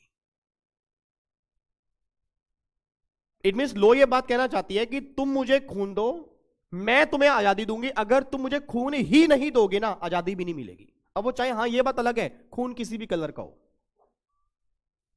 बच्चा कह रहे किसी भी कलर का मतलब? चाहे वो सीजीएसटी हो एसजीएसटी हो आईजीएसटी हो यूटीजीएसटी खून चाहिए बस। इट मीन अगर आगे खून नहीं होगा ना तो पीछे की आज़ादी भी भूल जाना, और ये बात मैं नहीं कह रहा सेक्शन 17 में साफ़ साफ़ लिखा है that is blockage of ITC it mean वो ये बात कहना चाहती है, विवेक, एक बात बता। जब तेरी सप्लाई आगे एग्जम्प्टेड ही है तो इसका आईटीसी को क्यों दे? अब एक बच्चा बोल पड़ा, सर, क्यों आईटीसी मिलना क्यों नहीं चाहिए? वो रिफंड ले लेगा। भाई, जब आगे यूज़ नहीं हो पा रहा, आप ये तो बोलना चाह रहे हो, भाई, आगे जीएसटी नहीं है, वो यूज़ कहाँ करेगा? और अगर वो आगे यूज़ नहीं करेगा तो रिफंड ले ले। सोच समझ के बोला जो उसने टैक्स पे किया, उसका आईटीसी मिल गया, उसका रिफंड ले गया तो गवर्नमेंट को क्या मिला? इट इज़ पूरी चेन में सारे कंप्लायंस गवर्नमेंट ने पूरे किए और आपने गवर्नमेंट कितने पे दिए? ज़ीरो इट मीन यहाँ पर आपने दिया नहीं और जो पीछे दिया उसका रिफंड ले लिया। तो गवर्नमेंट ने कहा, भाई, ऐसा नहीं होगा। इट मीन आईटीसी मिलेगा ही तब जब तू आगे सप्लाई करेगा और वो सप्लाई टैक्सेबल होगी। इट मीन अगर कोई भी सप्लाई आगे एग्जामेटेड सप्लाई होगी ना तो पीछे के जीएसटी का तुझको आईटीसी नहीं मिलेगा। और ये बिल्कुल लॉजिकल भी है सर एक बात मैंने सोच के बताना, जब आपने फर्दर जीएसटी ही पे नहीं किया तो पिछले वाले जीएसटी का आईटीसी गवर्नमेंट क्यों दे? क्योंकि अच्छा अब यहाँ पर मैंने क्या बोला कि देखो, पहली बात तो ना देने का रीजन क्या है, आप यूज़ कहाँ पर करोगे? और दूसरी बात गवर्नमेंट कह रहे कि अगर तू रिफंड की डिमांड करेगा और अगर हम देखो रिफंड दे देंगे तो हमें क्या मिलेगा भाई मेरे? क्योंकि तेरी सारी सप्लाई तो एग्जाम्प्टेड ही है। अब एक बच्चा बोल पड़ा सर ऐसा भी तो हो सकता है। कि क्या पता ये पर्सन जो सप्लाई कर रहा हो, ये कुछ एग्जाम्प्टेड हो, कुछ टैक्सेबल हो? हाँ अगर कुछ एग्जाम्प्टेड है, कुछ टैक्सेबल है, फिर उसको आईटी से मिल जाएगा। बट अगर गवर्नमेंट कह रही कि सिर्फ़ तुम्हारी एग्जामेड सप्लाई होगी ना, उस केस में आईटीसी नहीं मिलेगा। अब बच्चा ये बात, जैसे बच्चे ने क्वेश्चन पूछा, बच्चा कहता है, सर, अगर मान लो कुछ एग्जामेड है और कुछ टैक्सेबल है तो क्या मुझे आईटीसी पूरा मिलेगा? अब प्लीज़ ध्यान सुना लेट्स गेट एग्जांपल मैं एक प्लास्टिक लेकर आया। उस प्लास्टिक से मैंने पेन बनाया, उस प्लास्टिक से मैंने माउस बनाया। दोनों में प्लास्टिक लगा हुआ है माउस जीएसटी में एग्ज़ाम है, प्लास्टिक जीएसटी में टैक्सेबल है। अब गवर्नमेंट ये बात बोलती है कि जितना इनपुट तुमने इसमें यूज़ किया होगा, उस पर जो तुमने जीएसटी पे किया होगा, उसको तुमको आईटीसी नहीं मिलेगा। और जितना इनपुट तुमने प्लास्टिक में यूज़ किया होगा, वो टैक्सेबल है पेन टैक्सेबल है, उसका तुम्हें आईटीसी मिल जाएगा, हमें कोई दिक्कत ही नहीं है। तो ये सारी बातें ना हमारी सेक्शन 17 एक आगे जाके आएगा, उसमें हम डिस्कस करेंगे। बट आपको मैं यहाँ पर बताना चाहता हूँ कि तुम मुझे खून दोगे तो आज़ादी मिलेगी, अगर आगे खून ही नहीं दोगे ना, आज़ादी का मतलब ही नहीं है। और सर, ये डायलॉग पूरे जीएसटी में ध्यान रखना, जहाँ पर भी आपको आईटी में प्रॉब्लम आएगी ना, मैं याद कराऊँगा कि याद करो वो डायलॉग क्या था। ऐसा मैं क्यों कह रहा हूँ, सर? आपने कई बार देखा होगा, आज घरों में फ्री सैंपल वाले आते हैं। आते ना अपना वॉशिंग पाउडर लेकर कि वॉशिंग पाउडर निरमा, दूध से सफेदी निरमा, से रंगीन कपड़ा भी खिल खिल जाए, कि सबकी पसंद निरमा। आते नहीं वो निरमा वाले आते नहीं है? फेना ही लेना, फेना वाले भी आते हैं, फेना ही लेना। अब सोच के बोला? फॉर एग्ज़ाम्पल आपके घर में वो निरमा वाले आ गए। उन्होंने बोल अपना डायलॉग बोला, दूध से सफेदी निरमा में आए, रंगीन कपड़ा भी खिल खिले जाए वॉशिंग पाउडर निरमा। अब सोच के बोला? उन्होंने वो निर्मा के बारे में सारा कुछ बोला और आपको लगा, भाई वॉशिंग पाउडर निर्मा। तो आपने बोला, भाई हाँ भाई, कितने क्या? उन्होंने बोला, जी, हमारी कंपनी फ्री सैंपल प्रोवाइड कर रही है। अब सोच समझ के बोला, क्या फ्री सैंपल जो है कंपनी प्रोवाइड कर रही है, क्या उन्होंने परचेज भी फ्री के अंदर किया होगा? या परचेज के टाइम पर जीएसटी दिया होगा? जीएसटी दिया होगा ना? और जब वो जीएसटी दिया होगा तो बात आईटीसी की भी होगी। तो गवर्नमेंट ने बोला, किस बात का भाई? जब तूने फर्दर जीएसटी ही चार्ज नहीं किया तो पीछे वाला जीएसटी भूल जा तू। इट मीन जितने फ्री सैंपल बांटेगा, उसका सिंगल आईटीसी नहीं मिलेगा, क्योंकि अगर आगे खून ही नहीं होगा तो पीछे की आज़ादी भी नहीं होगी। तो सर, खून ना होने के ना कई रीजन हो सकते हैं। मतलब यह मत समझना कि सिर्फ़ एग्जामटेड ही होगा। क्या तो फ्री सैंपल बांट दिया? क्या तो आगे एग्ज़ाम है? क्या तो आपका सामान चोरी हो गया? मैं 20 पैकेट मान लो फॉर एग्जांपल ये, मैं लेट्स एग्जांपल 20 कैमरा लेकर आया बिज़नेस के लिए, और कोई कैमरा चोरी करके भाग गया। अब अगर कैमरा बिज़नेस के लिए लेकर आया, मैं जीएसटी देकर आया, मैंने आईटीसी बुक करना है बट अगर कैमरा ही चोरी हो गया तो गवर्नमेंट क्या बोलेगी? आईटीसी नहीं मिलेगा। क्योंकि जब तूने कैमरा बिज़नेस में ही यूज़ नहीं किया तो आईटीसी किस बात का दे हम तेरे को? तो सिंपल से एक बात कह रहा हूँ, पूरे जीएसटी में ये डायलॉग ये बहुत काम आएगा कि तुम मुझे खून दो, मैं तुम्हें आज़ादी दूँगा इट मीन अगर तुम मुझे खून दोगे तो आगे की आज़ादी मिलेगी। अगर तुम मुझे खून ही नहीं दोगे तो आज़ादी भी नहीं मिलेगी, बस ये पर ध्यान देना और ये बात मैं नहीं कह रहा, सर, ये बात लो में लिखी हुई है। तो सिंपल सी बात है कि कहने का मेरा रीजन क्या है कि अगर फर्दर सप्लाई टैक्सेबल होगी तो पिछले का आईटीसी की बात करना। अगर फर्दर सप्लाई ही एग्ज़ाम होगी हमारा टैक्स नहीं होगा तो आईटीसी की बात ही मत करना। बट गवर्नमेंट कहती है एक केस ऐसा है कि जहाँ आगे खून नहीं होगा, फिर भी आज़ादी हम दे देंगे। इट मीन आगे खून नहीं है, फिर भी हम आज़ादी दे देंगे। बच्चा कहता है, वो कौन सा केस है? That is export it mean अगर सामान तुमने एक्सपोर्ट किया होगा तो एक्सपोर्ट से फ़ायदा क्या होगा? फॉरन रिज़र्व इंडिया में आएगा। और अगर फॉरन रिज़र्व इंडिया में आएगा इंडिया ग्रो करेगा, उस केस में आप आईटी से क्लेम कर लेना। एक बच्चा बोल पड़ा, सर आईटी से क्लेम करके वो करेगा क्या? क्योंकि जब आगे एक्सपोर्ट है एक्सपोर्ट पर तो जीएसटी है ही नहीं। और अगर एक्सपोर्ट पर जीएसटी नहीं है, पिछले का आईटी से मिल जाएगा तो वो एडजस्ट क्या करेगा? तो गवर्नमेंट क्या बोलेगी? हम तुझे रिफंड दे देंगे, हमें कोई दिक्कत नहीं है। तो गवर्नमेंट ने क्या बोला कि तुम मुझे खून दो, मैं तुम्हें आज़ादी दूँगा बट इसकी एक्सेप्शन एक है that is zero rated supply उसको या तो एक्सपोर्ट बोलते हो या बोलते हो supply to S it mean इन दोनों केस में खून नहीं होगा, फिर भी आज़ादी मिल जाएगी। बाकी किसी भी केस में अगर खून नहीं होगा ना, आज़ादी आपको नहीं मिलेगी, बस ये बात ध्यान देना। ये बात क्लियर है? तो अपने आप इसका आंसर मुझे दे देना। अब अगर आगे सप्लाई मेरी एग्जामेड है तो क्या इस अठारह सौ रुपए का मुझे आईटीसी मिलेगा? नहीं मिलेगा। और अगर आईटीसी क्रॉस बजेगा ना, क्रॉस तो यहाँ पर अब मेरी कॉस्ट बनेगी ग्यारह हज़ार आठ सौ ऑब्वियस ही बात है ना? क्योंकि अगर मुझे नौ सौ नौ सौ रुपए का आईटीसी मुझे नहीं मिलेगा तो क्या मेरी कॉस्ट बनेगी दस हज़ार या ग्यारह आठ सौ? ग्यारह आठ सौ बनेगी। अब ग्यारह आठ सौ कॉस्ट हो गई, दो हज़ार वैल्यू एडिशन हो गया। यहाँ पर आ गया तेरह हज़ार आठ सौ रुपए। और यहाँ पर अब जीएसटी नहीं लगेगा तो कंज्यूमर की कॉस्ट अब बन जाएगी तेरह हज़ार आठ सौ रुपए। लो जी, ये केस यहाँ पे निकल के आएगा। ठीक है जी? ये इसका आंसर है हाँ जी।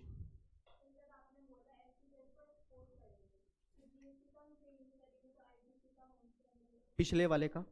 जब परचेस किया होगा, तब तो आपने जीएसटी दिया होगा ना? या तब भी नहीं दिया होगा? आईटीसी तो परचेस का मिलता है। आईटीसी का सेल पे थोड़ा मिलता है। आईटीसी तो उसका मिलता है जो आप परचेस पर जीएसटी देकर आए हो। ठीक है ना?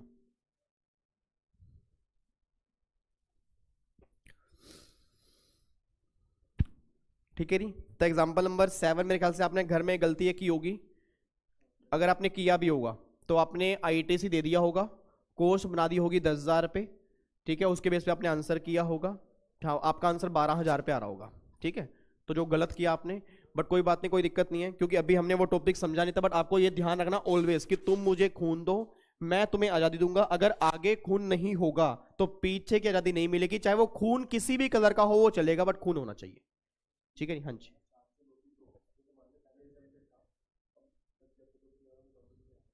मतलब? पहले एग्जाम्प्टेड था, फिर तो आईटी से मिलेगा ही नहीं वैसे। हाँ फिर तो आईटी हाँ उसके बाद मिलेगा फिर। ठीक है जी? इसमें कोई दिक्कत तो नहीं है? तो उसकी कोस्ट ध्यान से सही कर लेना, जो आप आंसर घर से करके इसकी कोस्ट बनेगी तेरह हज़ार आठ सौ रुपये आगे जीएसटी नहीं लगेगा। पिछले वाला जीएसटी ऐड हो जाएगा ग्यारह आठ सौ प्लस में दो हज़ार वैल्यू एडिशन तो तेरह हज़ार आठ सौ रुपये की कंज्यूमर की कोस्ट बन जाएगी लास्ट में इसकी। बस ये बात ध्यान देना। कोई दिक्कत, परेशानी तो नहीं है जी? लो जी, अब यहाँ पे आ जाओ एग्ज़ाम्पल नंबर एट और एग्ज़ाम्पल नंबर नाइन अब एक बार नोटबुक दिखाना जी। मैंने एग्ज़ाम्पल उतारे, नहीं हुए शायद। लो जी। एग्ज़ाम्पल नंबर एट तो हमारा शायद यही था। एग्ज़ाम्पल एट था ना? हाँ। अब दो एग्ज़ाम्पल हमारे बचे हैं। एग्ज़ाम्पल नंबर नाइन और एग्ज़ाम्पल नंबर टेन आओ जी, करते हैं।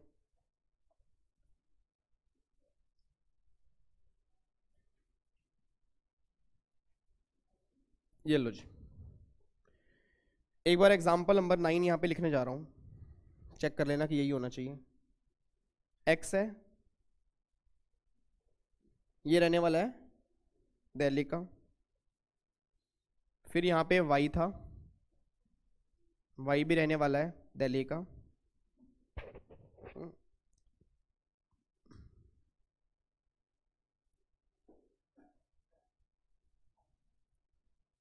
वाई रहने वाला है दिल्ली का।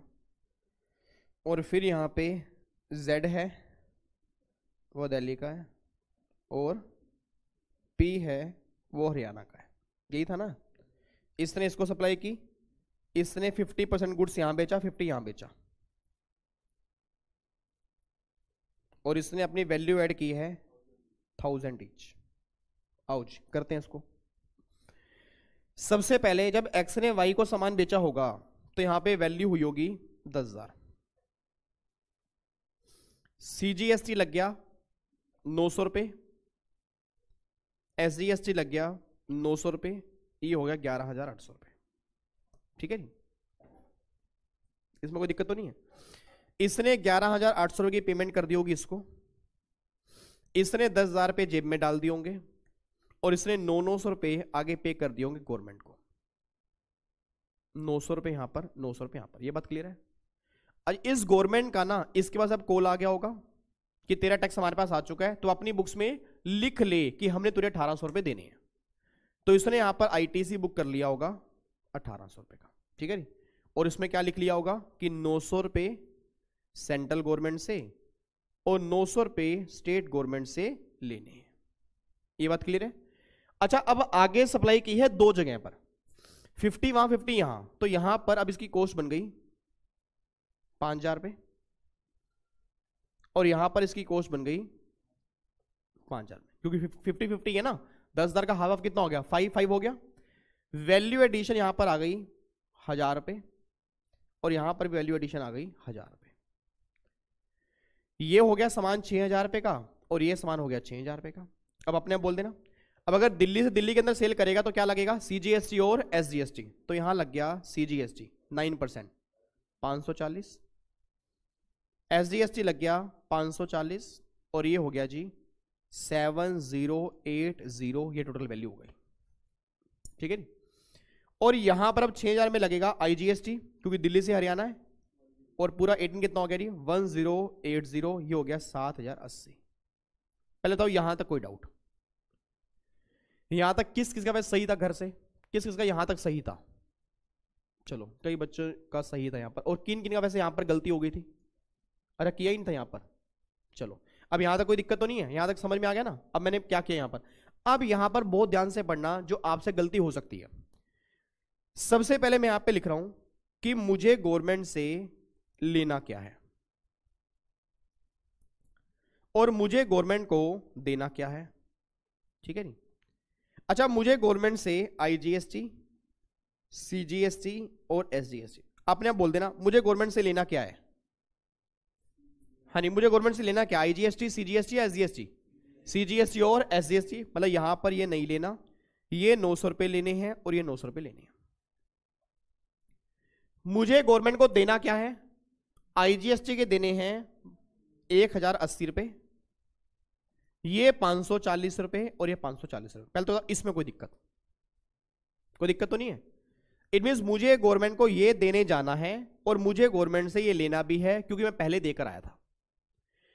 मेरा पूरी क्लास का क्वेश्चन है सीजीएसटी क्रेडिट आप यूज़ कहाँ पर करोगे? सबसे पहले सीजीएसटी ये खत्म कर दिया। अब मेरा कितना बचा? तीन सौ साठ रुपए। उससे मैंने खत्म कर दिया ये वाला। ये मेरा खत्म हो गया। इसमें वन ज़ीरो सॉरी तीन सौ साठ मैंने माइनस किया, अब बच गया सात सौ बीस रुपए। अच्छा फिर एस डी एस टी है। इसको यूज़ करेंगे सबसे पहले यहाँ पे। ये कितना बच गया? तीन साठ और इसको मैंने खत्म कर दिया यहाँ पर। ये कितना बच गया? तीन सौ साठ रुपए। क्लियर हो गया जी? अब सोच के बोल देना, ये थ्री सिक्सटी उसको पे करने पड़ेंगे कैश में। ये कैश में।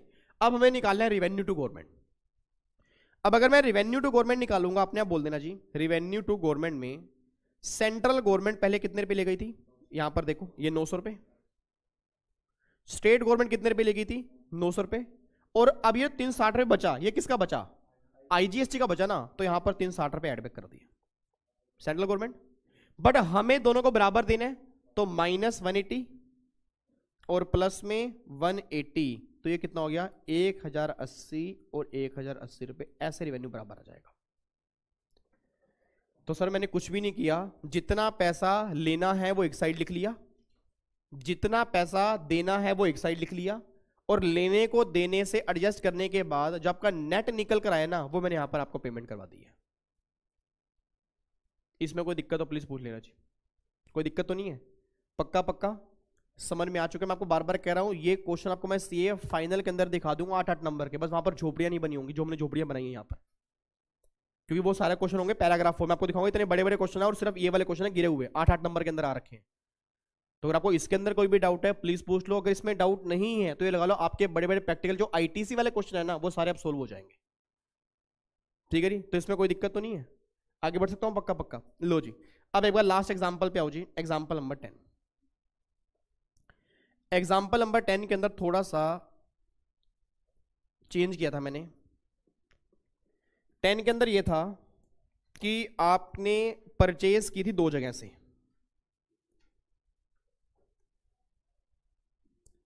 और बेचा भी आपने दो जगह पर था।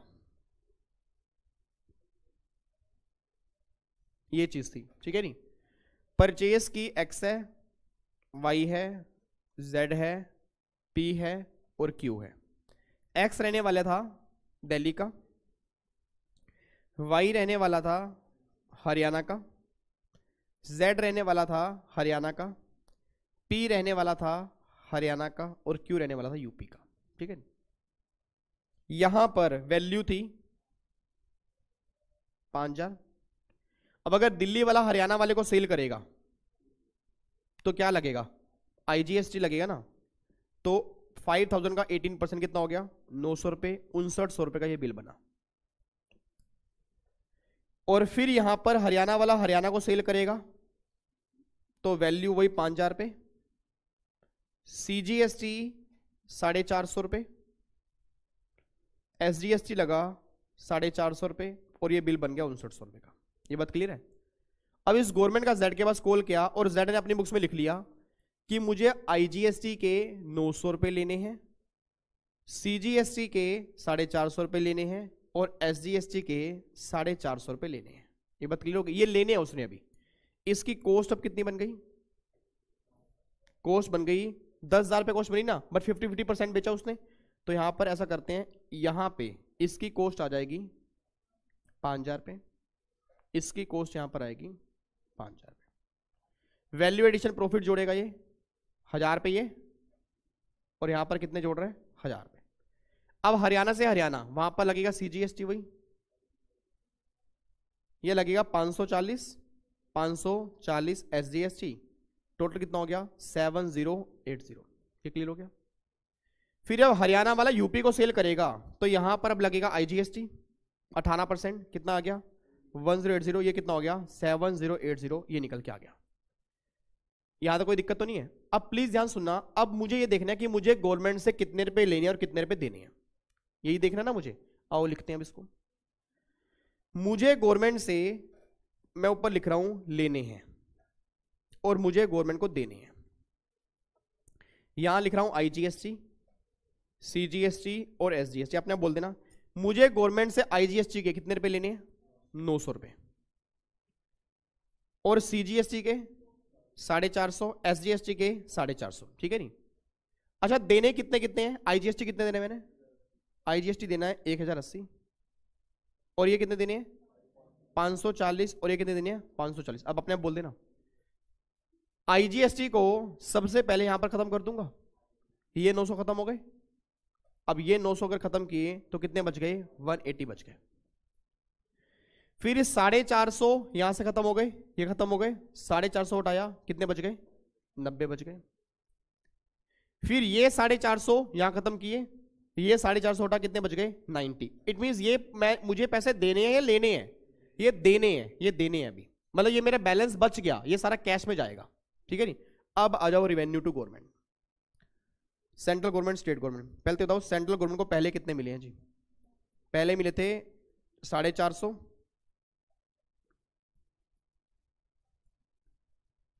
पहले यहाँ पर मिले थे साढ़े चार सौ और यहाँ पर मिले थे साढ़े चार सौ। और आईजीएसटी कितने रुपए मिल गया था वो? नौ सौ रुपए। ठीक है और अगली स्टेज पर देखो कितने कितने मिल रहे हैं। आईजीएसटी के वन एटी इसको मिल रहे हैं और नब्बे रुपए इसको मिल रहे हैं और यहाँ पर एसजीएसटी के नब्बे रुपए इसको मिल रहे हैं।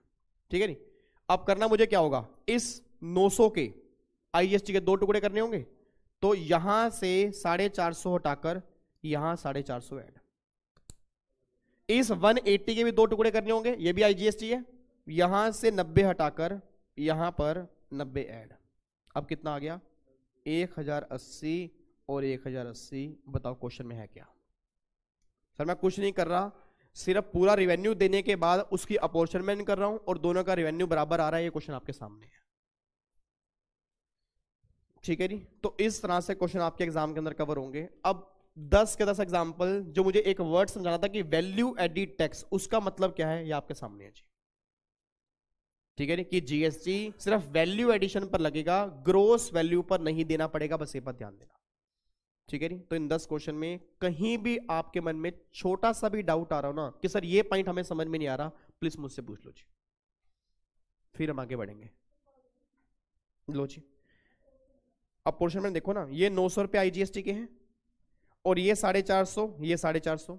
तो यहाँ पर मैंने देखो क्या लिखा? ये नौ सौ, ये साढ़े चार सौ, ये साढ़े चार सौ। इस नौ सौ के दो टुकड़े करने पड़ेंगे क्योंकि आईजीएसटी है तो साढ़े चार सौ यहाँ से हटाकर साढ़े चार सौ यहाँ पर ऐड कर दिए। और फिर ये आगे 180 ये भी किसका है? आईजीएसटी का है ना?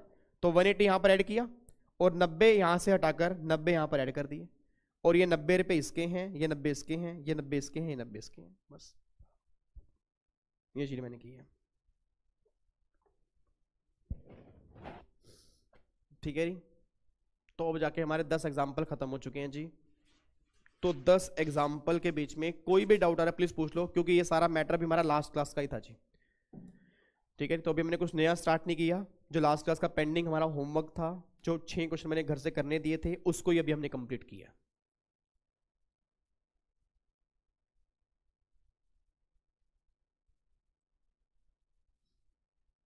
ठीक है जी?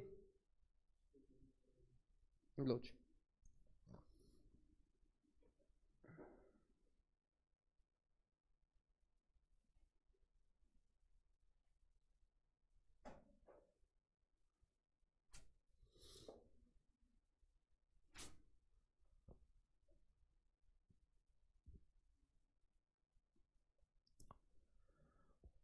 हो गया? लो जी। अब ऐसा करो। यहाँ पे लिखो।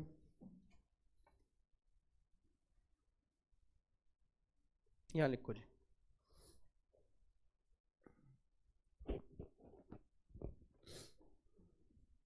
हेडिंग डालो।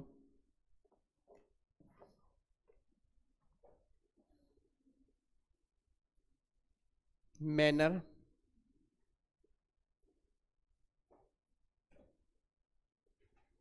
and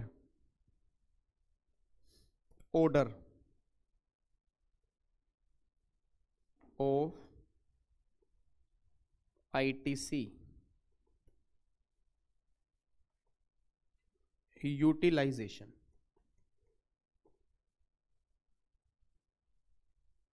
manner and order of ITC utilization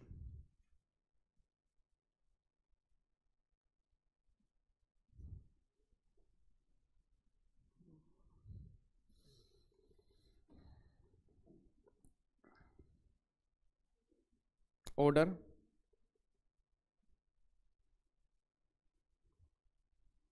ITC manner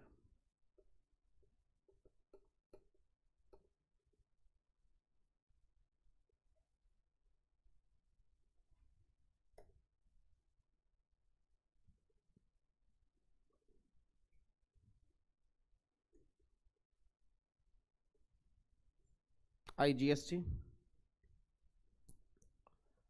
C G S T S G S T ठीक है? I G S T manner.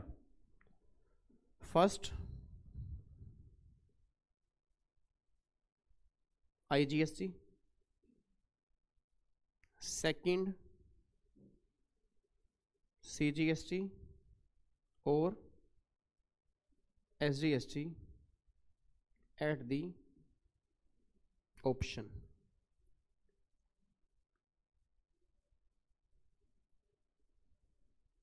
of supplier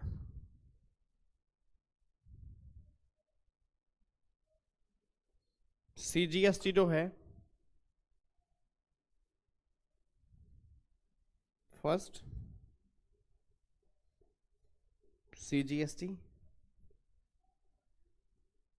second IGST और SGST जो है फ़र्स्ट SGST सेकंड लो ये तो manner है ठीक है अब ऑर्डर क्या है? मतलब ये कैसे खत्म करना है वो तो बता दिया बट सबसे पहले कौन सा उठाना पड़ेगा? तो ऑर्डर आईजीएसटी का है फ़र्स्ट इसका ऑर्डर है सेकंड और इसका ऑर्डर है थर्ड लो जी, ये फाइनल पिक्चर आपके सामने है जी ठीक है तो इस इस क्रेडिट को हमें खत्म कैसे करना है? आपके सामने है और सबसे पहले कौन सा उठाना पड़ेगा? वो भी आपके सामने ठीक है नी तो आपके सामने ऑर्डर भी है, आपके सामने मैनर भी है तो ऑर्डर और मैनर के अंदर फ़र्क क्या मैंने आपको यहाँ पर बता दिया, ठीक है नी आपको इसके अंदर प्रॉब्लम हो, कुछ भी आपके मन में डाउट्स आ रहे हो प्लीज़ मुझसे पूछ सकते हो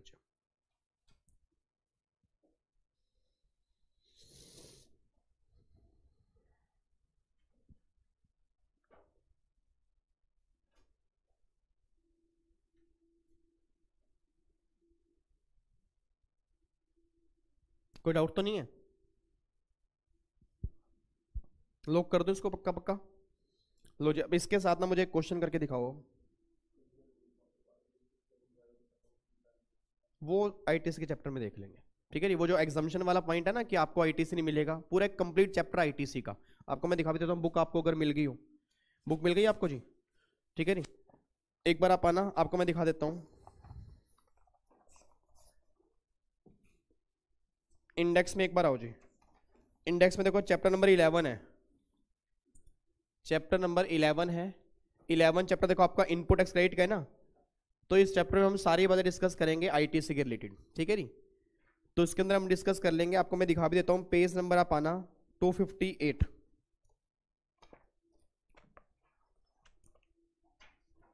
पेज नंबर 258 पर देखो जी।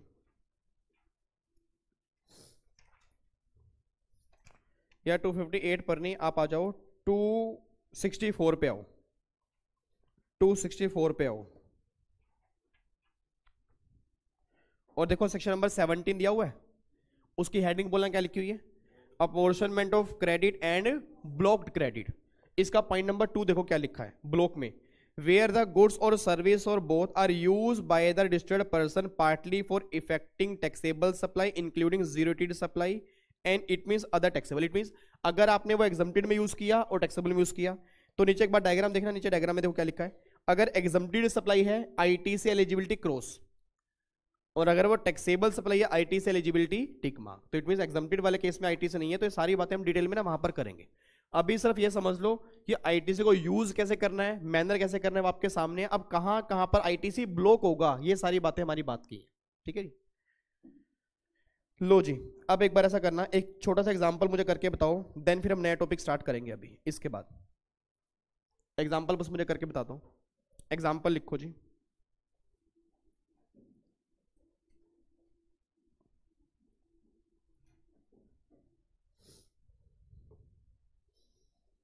लो जी।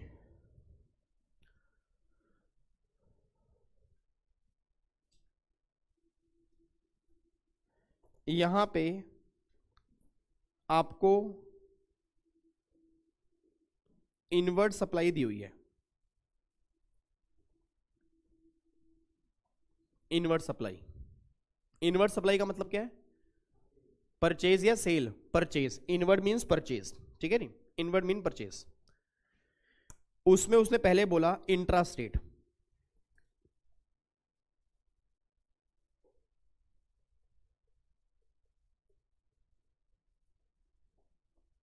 इंट्रा स्टेट परचेज है ग्यारह लाख अस्सी हज़ार रुपए की।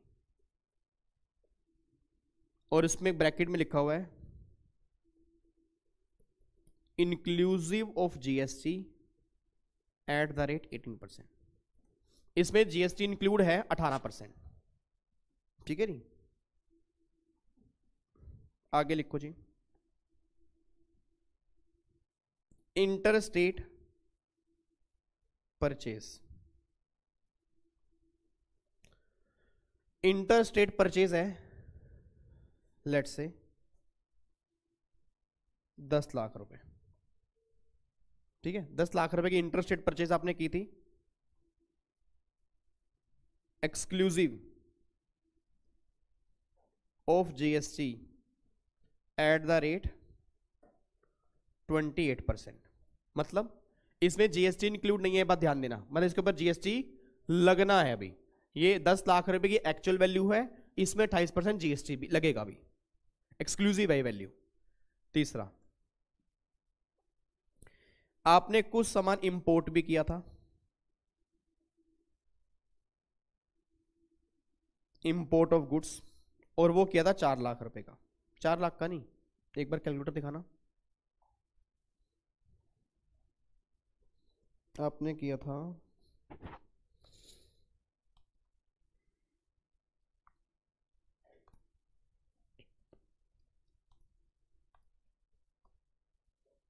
four lakh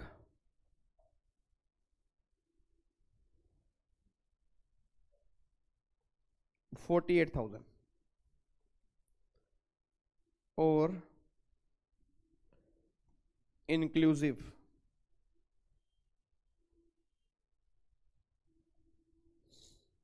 of GST at the rate twelve percent ठीक है नहीं ये तो आपके इनवर्ट सप्लाई है। फिर आपने आगे सामान बेचा?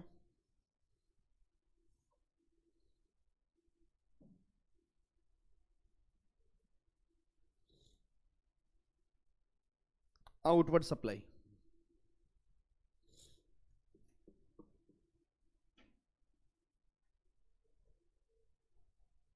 inter state sale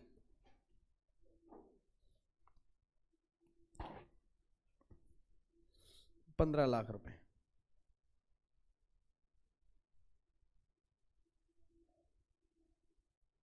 Exclusive of GST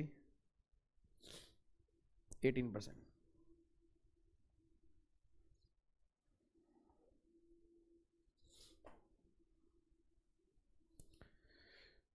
intra state sale 20 lakh रुपए।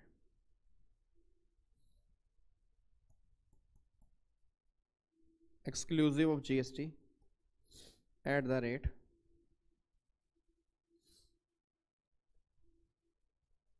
eighteen percent ठीक है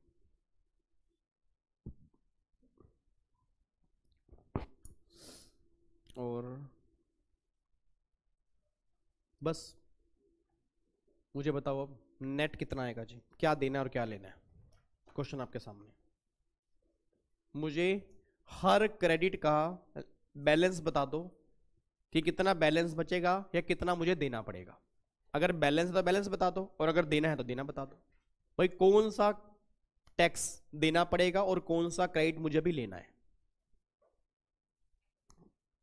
चेक करना चाहता हूँ कि आप निकालते कैसे हो। अब इसमें झोपड़ियाँ नहीं बनी पड़ी जी।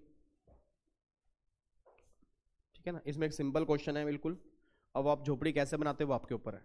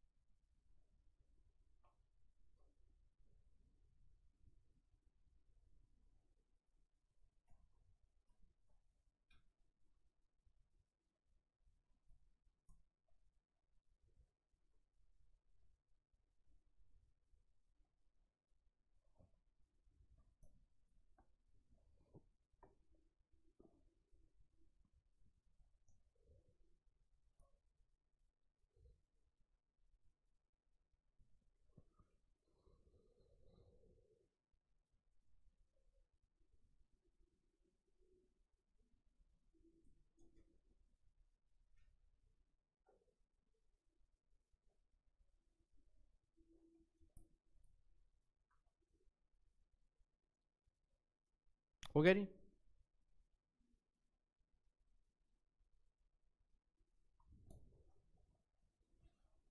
चलो, जिनका हो चुका बताओ एक बार।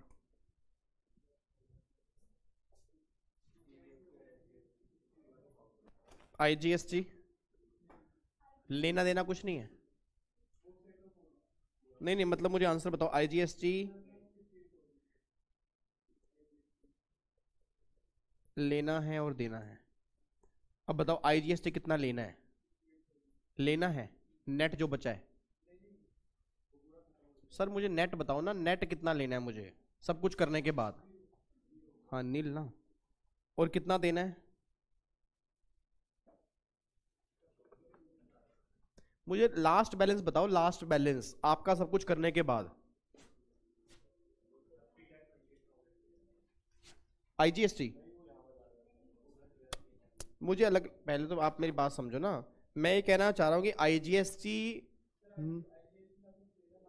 हाँ तो यही ना मतलब नेट नील आ रहा दोनों का। चलो। सिक्सटी वन थाउज़ेंड देना है, और लेना कितना है?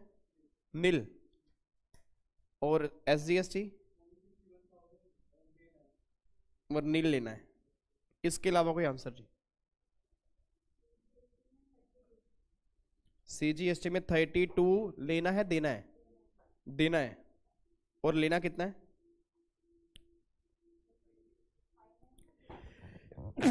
अच्छा बस यही है सिर्फ़।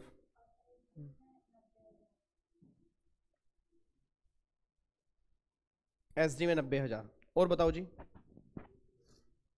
सेकंड वाला मतलब बत्तीस और ये। और जी, इसके अलावा कोई आंसर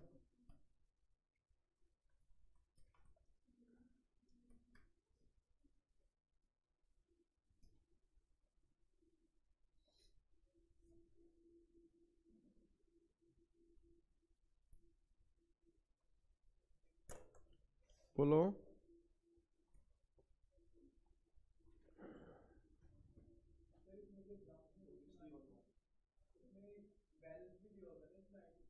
हाँ वो ओपनिंग बैलेंस दिया होता है। उसको आईटी से में ऐड कर दो। ओपनिंग बैलेंस का मतलब है कि इतना पहले का लेना है, इतना इस बार लेना है। तो लेने को लेने में ऐड करके देने से एडजस्ट कर दो।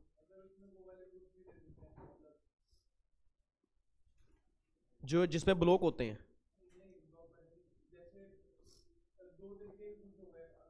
एग्जामटेड और टैक्सेबल बिज़नेस पर्पस और वो, यूज़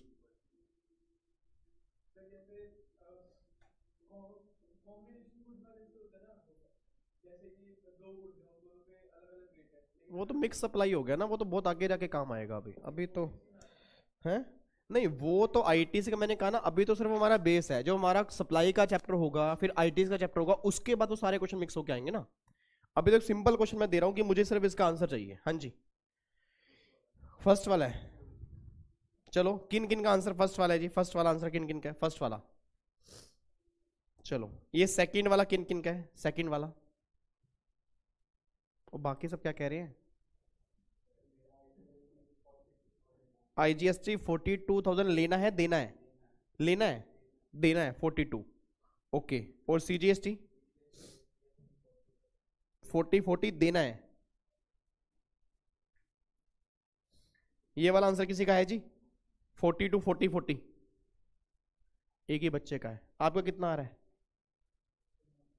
हैं? कर रहे हो? आपका? कर रहे और कौन रह गया जी? हाँ जी, आप दोनों। सीता और गीता हाँ जी। कर रहे हो? जल्दी करो। हाँ जी, और कौन रह गया? बाकी पीछे तो नए बच्चे बैठे हैं। हाँ जी, आप जी। इतना टाइम कहाँ लगा रहे हो? चलो जी, एक बार ऐसा करते हैं, चलो मैं ही निकलवाता हूँ। पहले तो मुझे इतना बताओ, इसमें आपका जीएसटी इंक्लूड है? अच्छा इंट्रा स्टेट में जीएसटी लगता कौन कौन सा वैसे? सीजीएसटी और एसजीएसटी अच्छा इसमें जीएसटी अगर इंक्लूड है तो जीएसटी कितना आएगा इसका? एक लाख अस्सी हज़ार। ये तो निकालना आता है ना? भाई, ग्यारह लाख अस्सी हज़ार divide by one one eight multiply hundred क्योंकि इसमें जीएसटी इंक्लूड है ना?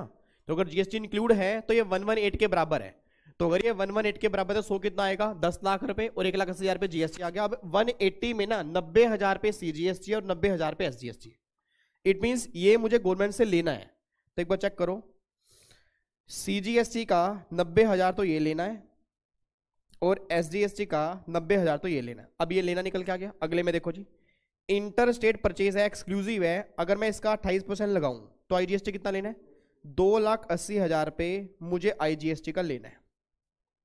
ये क्लियर हो गया? अच्छा फिर वो कह रहे हैं इंपोर्ट है, इस पर भी आईजीएसटी लगेगा। 480 का 12 परसेंट कितना बनेगा? 12 परसेंट इसमें इंक्लूड है। तो मतलब four four four eighty divide by one one two multiply twelve तो कितना बन गया? फोर्टी एट थाउज़ेंड का ही आ गया। तो मुझे टोटल मिला के तीन लाख अट्ठाईस हज़ार रुपये आईजीएसटी लेना है। ठीक है नहीं? अब तीन अट्ठाईस मुझे आईजीएसटी लेना है, और नब्बे हज़ार रुपये मुझे सीजीएसटी लेना है, और नब्बे हज़ार में मुझे एसजीएसटी लेना है, ये मुझे लेना है, ठीक है नहीं? अच्छा मुझे देना क्या क्या है? अब देने में पंद्रह लाख का अठारह परसेंट कितना बनेगा? टू सेवेंटी, ये मुझे आईजीएसटी देना है, ठीक है? उसके बाद फिर यहाँ पर दो बीस लाख का अठारह मतलब दोनों कितना बनेगा? वन एट्टी सीजीएसटी और वन एट्टी एसजीएसटी ये बात क्लियर है? अब एक बार ऐसा करते हैं अब मुझे लेना देना बताओ जी। ये है लेना और ये है देना। लेने का बताओ। पहले तो ये बताओ, लेने में आईजीएसटी सबसे पहले लिखते हैं जी। आईजीएसटी में कितना आएगा?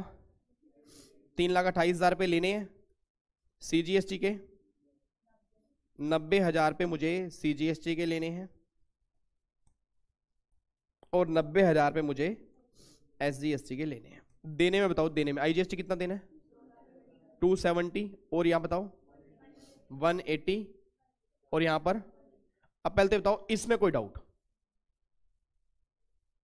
इसमें कोई डाउट तो नहीं है? पक्का पक्का? यहाँ तक समझ में आ गया? कैसे मैंने निकाला है? कोई भी डाउट हो प्लीज़ पूछ लो, शर्माया मत करो साथ वाले दोस्तों से। क्योंकि प्रॉब्लम क्या कई बार सोचते हैं लोग हाँ भाई, साथ वाला क्या सोचेगा, मैं डाउट पूछ रहा हूँ, इतना गंदा।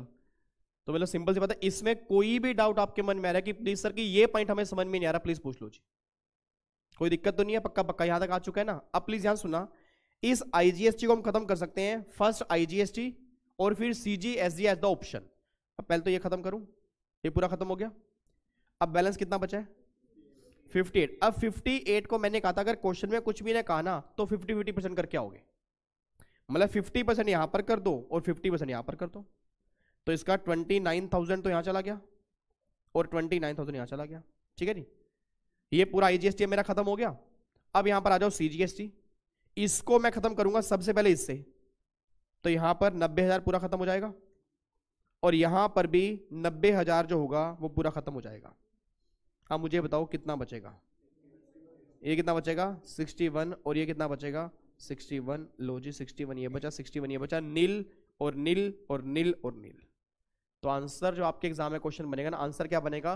क्रेडिट मेरा बचेगा सारा, नील, और मेरी लाइबिलिटी बनेगी, वो बनेगी सीजीएसटी की इकसठ हज़ार रुपए टी की इकसठ हज़ार रुपए आईजीएसटी के बनेंगे नील। आपका आंसर ये निकल के आएगा।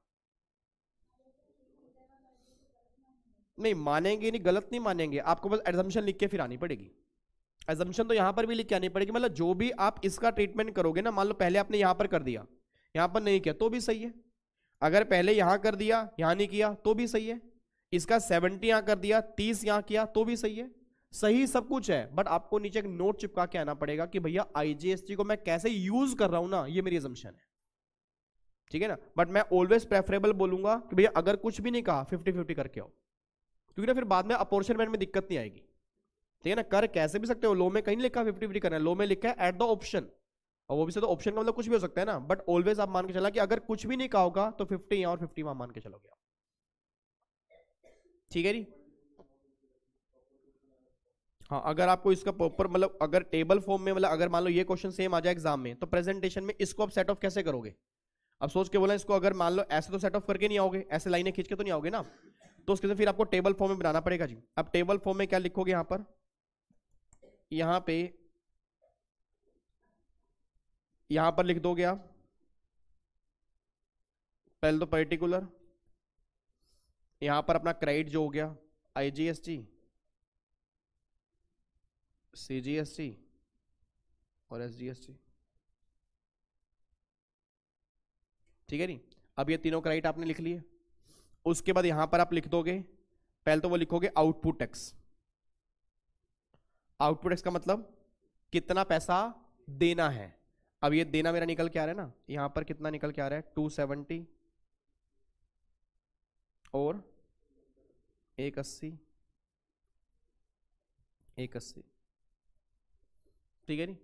और फिर मेरे यहाँ पर निकल के आ रहा है? इनपुट टैक्स अब इनपुट टैक्स में आप यहाँ पर लिखोगे जी आईजीएसटी का। अब आईजीएसटी कितना आपका? 328 है ना? तो यहाँ पर तो 270 ये माइनस फिर यहाँ पर 58 बचा। तो 29,000 यहाँ माइनस 29,000 यहाँ माइनस ठीक है नहीं आपस में सेटअप हो गया ना? अगला फिर बचा सी जी एस टी यहाँ पर कुछ भी नहीं आएगा नाइन्टी यहाँ पे नहीं आएगा। अब फिर बचा एस जी एस टी यहाँ पर कुछ भी नहीं कुछ भी नहीं ये हो गया नाइन्टी अब बस नेट इफ़ेक्ट डाल दो आप। नेट इफ़ेक्ट में क्या क्या आएगा?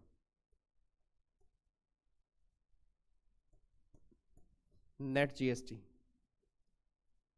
Nil, sixty one thousand और सिक्सटी वन थाउज़ेंड। लो जी। इस टेबल फॉर्म में ऐसे हो गया। ठीक है नहीं तो एग्ज़ाम में जब हमें प्रेजेंट करके आना पड़ेगा तो एग्ज़ाम में प्रेजेंटेशन जो होगी, जब मैं आपको, मैंने कहा ना, जब आई का चैप्टर कराऊँगा, उसके अंदर जब इसके हम क्वेश्चन करेंगे तो वहाँ पर आपको टेबल फॉर्म में कन्वर्ट कराऊँगा कि अभी सिर्फ़ हमने समझा कि अगर आपके एग्ज़ाम में नॉर्मल मैनर वाला क्वेश्चन बन जाए और ऑर्डर वाला क्वेश्चन बन जाए तो उस केस में हमारा आंसर क्या होगा बस? मतलब अभी तक हमने जो वो दस क्वेश्चन किए ना, उस दस क्वेश्चन का कंक्लूजन जो है, बस मुझे ये देखना था कि आपको समझ में आया है, नहीं आया। ठीक है नहीं तो आपके एग्ज़ाम में अगर सिंपल क्वेश्चन बन जाए कि भैया आपने इतना पैसा देना है और इतना पैसा लेना है, उस केस में एडजस्टमेंट कैसे करोगे, वो सारा कुछ आपके सामने है जी। अब कोई दिक्कत तो नहीं है? लोरी अब प्लीज़ ध्यान सुनना। अब जाके फाइनली हमारे वो क्वेश्चन खत्म हो चुके हैं। अब मैं इसको हटा रहा हूँ जी। ठीक है नहीं अब ये आपका आंसर निकल के आ रहा है। लो जी, अब देखना ध्यान से। अब ये सारी बातें कंप्लीट करने के बाद, अब यहाँ पे अभी तक ना हमने दो टॉपिक कंप्लीट कर लिए। एक तो चैप्टर नंबर वन में बेसिक बातें की हैं और चैप्टर नंबर टू के अंदर मैंने आपको बता दिया भाई जीएसटी पहले कहाँ पर आया, कैसे बना, वो सारी की सारी बातें हमने आईटीसी की, जो भी थोड़ी बहुत बातें थी, वो हमने सारी यहाँ पर देख ली। अब मेन जो हमें चैप्टर स्टार्ट करने हैं ना जीएसटी के, अब वो करने हैं आप। इट मीन अभी तक आप चेक करो सर पाँच से छह लेक्चर जो भी हमारे हुए हैं, उसके अंदर सिर्फ़ हमने यही क्लियर किया है बेस क्लियर किया कि जीएसटी एक्चुअल में है क्या। अब जितने भी आपके जीएसटी के एक्चुअल चैप्टर है ना, अब वो सारे अब स्टार्ट हो जाएँगे। बट उसको स्टार्ट करने से पहले, उसको स्टार्ट करने से पहले कुछ क्वेश्चंस हैं, उन क्वेश्चन के आप मुझे आंसर देना। आपके जीएसटी में ना प्लीज़ ध्यान सुना, आपके जीएसटी में टोटल मिलाकर आपके सिलेबस में 22 से 24 चैप्टर पूरे कवर हैं। मतलब जीएसटी में कंप्लीट आपके 24 चैप्टर हैं जो सीए इंटर लेवल पे हैं। और अगर मैं सीए फाइनल की बात करूँगा तो सीए फाइनल में जाकर ना इसमें छह चैप्टर और ऐड हो जाते हैं और टोटल बन जाते हैं तीस चैप्टर। चौबीस तो यही सेम आएँगे, क्योंकि चौबीस तो सेम रहेंगे रहेंगे, छह और आ जाएँगे, चैप्टर बन जाएँगे तीस। और इन सारे जीएसटी के कंप्लीट चैप्टर को ना कंप्लीट चैप्टर को आपके टोटल तेरह चेक पॉइंट हैं थर्टीन चेक पॉइंट हैं, उसके अंदर मैंने कंसाइज किया हुआ है। इट मीन कहना क्या चाह रहा हूँ कि प्रैक्टिकल लाइफ में कभी भी आपको जीएसटी में डाउट्स आएगा ना, कभी भी डाउट्स आएगा प्रैक्टिकल लाइफ में हो एग्ज़ाम में हो, कहीं पर भी डाउट्स आए, अपना डाउट्स उसके अंदर डाल देना, आपका आंसर आपके सामने आ जाएगा। अब वो थर्टीन चेक पॉइंट्स का मतलब क्या है कि सबसे पहले हमें जीएसटी में क्या पढ़ना है? फिर उसके बाद कहाँ पर आना है? फिर कहाँ पर आना है? फिर कहाँ पर आना है? तो अगर आप इस सीक्वेंस के अंदर जीएसटी फॉलो करोगे, आप जीएसटी में कभी मार नहीं खाओगे। अब प्लीज़ ध्यान सुना, ऐसा मैं क्यों कहना चाह रहा हूँ? सर, एक बात मैंने सोच के बताना। लेट्स एन एग्जांपल मान लो आप सब बच्चे सीए बन जाते हो, और सीए बनने के बाद दो ही केस होंगे तो आप जॉब करोगे या प्रैक्टिस करोगे। अब एक बच्चा कहता है मैं ना सीए के बनने के बाद ना प्रैक्टिस करना चाहता हूँ, और प्रैक्टिस मैं करना चाहता हूँ जीएसटी के अंदर। क्योंकि जीएसटी एक बहुत बड़ा टैक्स है, और पूरे मार्केट के अंदर वैक्यूम है, और कंसल्टेंसीज की मार्केट में इतनी अभी नहीं है। तो एक बच्चे ने बोला, भाई, मैं प्रैक्टिस करूँगा जीएसटी के अंदर। उसने अपना प्रैक्टिस खोल ली। अब जब उसने प्रैक्टिस खोली ना तो फॉर एग्ज़ाम्पल एक क्लाइंट उसके पास आया। उस क्लाइंट ने बोला कि, सर, मैंने एक बिज़नेस स्टार्ट किया है। तो मुझे समझ नहीं आ रहा कि मेरे बिज़नेस पर जीएसटी के क्या इंप्लीकेशन होंगे। इट मीन जो ये मैंने बिज़नेस स्टार्ट किया तो क्या मेरे बिज़नेस पर जीएसटी लगेगा या नहीं लगेगा, उसके माइंड में बहुत सारे क्वेश्चन हैं। और इन सारे क्वेश्चंस के आंसर जो है ना, इन थर्टीन चेक पॉइंट्स के अंदर दिए हुए हैं। अब वो तेरह चेक पॉइंट कौन, और एक्चुअल में ना वो तेरह चेक पॉइंट नहीं है, वो पूरा कंप्लीट जीएसटी है। उसको आप तेरह चेक पॉइंट मत मानो, जितने भी जीएसटी के एक्ट में सारे प्रोविज़न है ना, उन सारे प्रोविज़न को कंसाइज करके ये तेरह चेक पॉइंट बने हैं। अब प्लीज़ ध्यान सुना उसके अंदर आपको सबसे पहले करना क्या है? एक क्लाइंट आपके पास आया लेट से मान लो मैं सी हूँ, एक क्लाइंट बच्चा मेरे पास आ गया। इसका क्वेश्चन ये है कि सर मेरे ऊपर जीएसटी क्या इंप्लीकेशन होंगे? अब सबसे पहला मैं ये बात बोलूँगा कि भैया पहले तो मुझे बताओ कि जिस एलिमेंट में तुम बिज़नेस कैरी कर रहे हो, क्या वो एलिमेंट गुड्स और सर्विस में कवर होता या नहीं होता? क्योंकि एक बात मैंने बोलना कि अब क्या पता ये ऐसा बिज़नेस कर रहा हो जो जीएसटी में गुड्स और सर्विस की डेफिनेशन में ही ना आता हो। क्योंकि अगर वो गुड्स और सर्विस की डेफिनेशन से ही बाहर होगा ना तो चाहे वो सप्लाई करे, चाहे वो कुछ भी करे जीएसटी का तो मतलब ही नहीं। तो सबसे पहला चेक पॉइंट ये है, सबसे पहला ये चेक करना कि जिसके अंदर बिज़नेस कैरी कर रहा हूँ, क्या वो गुड्स और सर्विस में कवर है या नहीं है। अब बच्चा ये बात कहता है, सर, जो गुड्स और सर्विस की डेफिनेशन है, क्या वो जीएसटी में दी हुई है? यस दी हुई है. चैप्टर नंबर थ्री हमारा डेफिनेशन का है, उसमें एक सेक्शन 252 है, वो गुड्स का है 2102 आपका सर्विस का है। और आपको मैं वहाँ जाके दिखाऊँगा, उसमें लिखा होगा कि गुड्स में ये सारी चीज़ें कवर होंगी बट ये कवर नहीं होंगी। सर्विस में ये सारी कवर होंगी, ये कवर नहीं होंगी। अब जो उन्होंने वहाँ से ही बाहर निकाल दी तो वहाँ पर जीएसटी का मतलब ही नहीं तो सबसे पहला कोई बिजनेसमैन जब भी पूछने आए कि मेरे ऊपर जीएसटी का इंप्लीकेशन क्या है, सबसे पहला क्वेश्चन क्या होगा कि आपका काम जो आप कर रहे हो, वो गुड्स और सर्विस में कवर है या नहीं लेट से मान लो इस बच्चे के फादर साहब कहते हैं कि, सर, मैं ना बिज़नेस कैरी कर रहा हूँ इस माउस के अंदर या इस रिमोट के अंदर, मेरी दुकान इसकी है।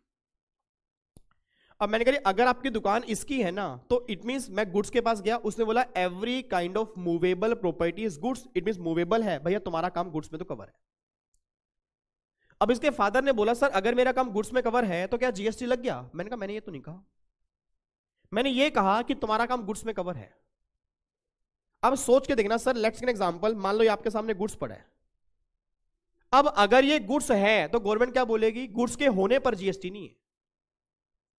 इट मीन जब तक इस गुड्स में कोई हलचल नहीं होगी, कोई भी हरकत नहीं होगी ना, उस हलचल, हरकत के बिना इस पर जीएसटी नहीं लगेगा। अब बच्चे का क्वेश्चन कि सर हलचल और हरकत का मतलब क्या है? गवर्नमेंट कहते हैं, अगर इसमें सप्लाई होगी तो जीएसटी की बात करोगे, अगर सप्लाई ही नहीं हो रही तो जीएसटी किस बात का? तो सेकंड केस ये है कि भैया, अगर ये एलिमेंट गुड सर्विस में कवर है सेकंड चेक करो, क्या ये सप्लाई में भी कवर है या नहीं है? मैंने इनके फादर से बोला, मैं कह रही, फादर साहब, आप ये बताओ, आप करते क्या हो? उसने कहा मैं तो इसमें डीलिंग करता हूँ और मैं जो डीलिंग करता हूँ ना फ्री में करता हूँ। पहले माउस और रिमोट, मैं चैरिटेबल ट्रस्ट को डोनेट करता हूँ और मैं कभी मार्केट में बेचता नहीं हूँ, सिंगल पैसा चार्ज नहीं करता, मैं फ्री के अंदर बांटता हूँ। अब इसके फादर जो काम कर रहे हैं ऑब्वियसली बात है गुड्स और सर्विस में कवर है। बट क्या इसके फादर जो फ्री में काम कर रहे हैं, क्या वो सप्लाई में कवर होगा या नहीं होगा, वो हमें चेक करना पड़ेगा। और लो ये बात कहता है कि कुछ काम ऐसे हैं जो फ्री में भी करोगे ना तो भी सप्लाई बन जाएँगे। अब इसके फादर ने जो काम फ्री वाला किया, अगर वो सप्लाई में कवर होगा तो सोचेंगे, अगर कवर ही नहीं होगा तो भैया आप चेक पॉइंट नंबर टू से बाहर हो, आपके काम पर जीएसटी नहीं अब अगर इसके फादर बोलते कि, सर, मैं तो इस माउस की सेल करता हूँ, या मैं रिमोट की सेल करता हूँ तो मैंने बोला जी, आपका काम सप्लाई में कवर है।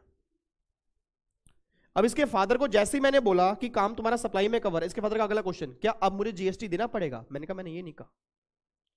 मैंने ये कहा, तुम्हारा काम गुड्स है। मैंने ये कहा, तुम्हारा काम सप्लाई में कवर है। बट ये बताओ, तुम सप्लाई करते कहा क्योंकि अगर तुम सप्लाई इंडिया से बाहर करोगे ना दैट इज़ एक्सपोर्ट उस केस में जीएसटी नहीं है। और अगर तुम सप्लाई इंडिया में करोगे तो सोचेंगे। तो तीसरा चेक पॉइंट यह है कि जो भी लोग सप्लाई करते हैं, उसकी प्लेस ऑफ़ सप्लाई कहाँ आती है? अगर उसका पीओएस इंडिया में है तो चेक पॉइंट नंबर फोर के पास जाएँगे। अगर पीओएस इंडिया से बाहर होगा ना, उस केस में जीएसटी एप्लीकेबल ही नहीं होगा। इस बच्चे के फादर ने बोला, सर, मैं तो सारी सप्लाई ना इंडिया में ही करता हूँ। मैं इंडिया से बाहर करता ही नहीं हूँ। तो अगर मैं सप्लाई इंडिया में करता हूँ तो क्या मुझे जीएसटी देना पड़ेगा? मैंने कहा, अभी भी श्योर नहीं है। क्योंकि जो तुम ट्रांजेक्शन कर रहे हो, वो गुड्स में कवर है। जो तुम काम कर रहे हो, वो सप्लाई में कवर है। तुम्हारी सप्लाई इंडिया में है बट जीएसटी तब लगेगा, पहले बताओ तुम्हारी टर्नओवर क्या है। क्योंकि जीएसटी का लो ये बात कहता है कि जिस आदमी की टर्नओवर पूरे साल की 40 लाख तक होगी ना, उसको जीएसटी में आना ही नहीं है। अब अगर तुम्हारी टर्नओवर ही 10 लाख है, तुम्हारी टर्नओवर ही 5 लाख है तो चाहे गुड्स की सप्लाई करो, चाहे इंडिया में करो, तुम्हारे पर जीएसटी नहीं है। इसके फादर ने बोला, नहीं सर, मेरी टर्नओवर तो पचास साठ लाख हो जाती है। तो अगर मेरी टर्नओवर पचास लाख लाख हो जाती है तो क्या मुझे जीएसटी देना पड़ेगा? मैंने कहा, मैंने अभी भी नहीं कहा। कहता सर, फिर देना कब पड़ेगा? मतलब मैं जो काम कर रहा हूँ वो गुड्स में कवर है, मैं जो काम कर रहा हूँ वो सप्लाई में कवर है, मैं जो काम कर रहा हूँ वो इंडिया में है, मैं जो काम कर रहा हूँ वो चालीस लाख से ऊपर है, फिर भी जीएसटी देना। मैंने कहा, सर जीएसटी में ना एक एग्जामेशन लिस्ट है। क्या पता तुम्हारा काम एग्जामेशन में कवर हो? और अगर वो तुम्हारा काम एग्जामिशन में कवर होगा तो जीएसटी तुम्हें नहीं देना पड़ेगा। हाँ एग्जामिशन में कवर नहीं होगा ना, फिर दुनिया की कोई भी ताकत तुम्हें जीएसटी से बचा नहीं सकती। तो आज इंडिया में रहने वाले हर आदमी के पास जीएसटी से बचने के पाँच रास्ते हैं। और अगर वो इन पाँचों रास्तों में कवर हो जाता है, तब उस क्लाइंट को जीएसटी से बाहर निकाल दोगे। अगर वो कोई क्लाइंट इन पाँच में कवर नहीं होता ना, दुनिया की कोई भी ताकत उसको जीएसटी से बाहर निकाल नहीं सकती। सबसे पहला रास्ता, उस क्लाइंट के काम को गुड्स और सर्विस से बाहर निकाल दो। दूसरा रास्ता, उसके काम को सप्लाई से बाहर निकाल दो। तीसरा रास्ता, उसको इंडिया से बाहर निकाल दो। चौथा रास्ता, उसको 40 लाख की टर्नओवर के अंदर ले आओ। और पांचवा रास्ता, उसको एग्जामेशन में डाल दो। अगर वो कहीं भी कवर नहीं हो रहा तो ऑलवेज ये बात ध्यान देना कि जीएसटी देना ही पड़ेगा। अब वो कैसे देना पड़ेगा? कलेक्शन किससे होगा? वैल्यू कैसे निकलेगी? रिटर्न कैसे फ़ाइल करनी होगी? पेमेंट कैसे करनी होगी? वो सारे मैटर बात के हैं। बट ये तो कंफर्म है कि अगर आज आपको जीएसटी से बचना है तो पाँचों गेट या पाँचों चेक पॉइंट ऐसे हैं कि अगर उसमें आप कवर हो जाओगे तो बच जाओगे। नहीं कवर होते तो भैया आपको जीएसटी तो देना पड़ेगा। तो ऐसे टोटल मिलाकर आपके तेरह चेक पॉइंट हैं। उन तेरह चेक पॉइंट को वन बाय वन चेक करेंगे। उसके बाद फिर जब ये तेरह खत्म हो जाएँगे ना, फिर आपको उस दिन फील होगा या उस टाइम फील होगा कि एक्चुअल में जीएसटी है क्या। क्योंकि प्रॉब्लम पता क्या सर प्रैक्टिकल में एक क्लाइंट आया। आज लोग ऐसे ही करते हैं। एक क्लाइंट आया, उसने बोला, मेरे ऊपर जीएसटी लगेगा? नहीं लगेगा। अब भैया जीएसटी नहीं लगेगा रीजन तो बता कि जीएसटी क्यों लगेगा? सोच के बोला, सर, मेरे एक्सपर्ट सीए पर जीएसटी नहीं है। अब एक्सपर्ट सीए पर जीएसटी क्यों नहीं है सर मेरा काम सर्विस में कवर है। मेरा काम सप्लाई में कवर है, सप्लाई मैं इंडिया में कर रहा हूँ, बस मैं क्या हूँ टैक्सेबल पर्सन नहीं हूँ, इसलिए मेरे ऊपर जीएसटी नहीं है। अब किसी ने आपसे बाहर आके पूछ लिया कि यार विवेक सर के काम पर जीएसटी क्यों नहीं है? क्योंकि बड़े बड़े टीचर तो जीएसटी लगा रहे हैं। और वही सेम काम विवेक सर भी करें, उनके काम पर जीएसटी क्यों नहीं है? आपका दिमाग चक्कर खा गया। आपको लगा यार बात तो सही है कि दोनों काम सेम कर रहे हैं तो विवेक सर फ्रॉड कर रहे होंगे। सिंपल सी बात है ना, आपके दिमाग में कई बार आएगा ना कि भाई दोनों काम सेम कर रहे हैं, किसी के बिल पे जीएसटी लगा है, किसी के बिल पे जीएसटी नहीं लगा, और दोनों काम सेम कर रहे हैं। तो भैया मेरा काम सर्विस में कवर है, मेरा काम सप्लाई में कवर है, मेरी सप्लाई इंडिया में है, मैं टैक्सेबल पर्सन नहीं हूँ, इसलिए मेरे काम पर जीएसटी नहीं है बस। और जिस दिन मेरी टर्नओवर 40 लाख से ऊपर हो जाएगी तो एक्सपर्ट सीए जो क्लासेस होंगी, उस पर भी जीएसटी लगना स्टार्ट हो जाएगा। आपको मैंने उस दिन भी कहा था, जो मेरी नीचे सीएस की अकेडमी है आई विद्या उस पर जीएसटी लगता है, क्योंकि 40 लाख से ऊपर टर्नओवर है। बट जो मेरी अकेडमी मैंने अभी ओपन की सीए के लिए ओपन की और अलग पैन कार्ड से ओपन की है तो उस केस में वहाँ जीएसटी अभी एप्लीकेबल नहीं है क्योंकि टर्नओवर मेरी चालीस लाख अभी नहीं है। तो सर, जब भी कोई क्लाइंट आपके पास बोले, आपने बस ये नहीं बोल देना कि जीएसटी नहीं लगेगा। अरे भैया जीएसटी नहीं लगेगा, क्या रीजन है?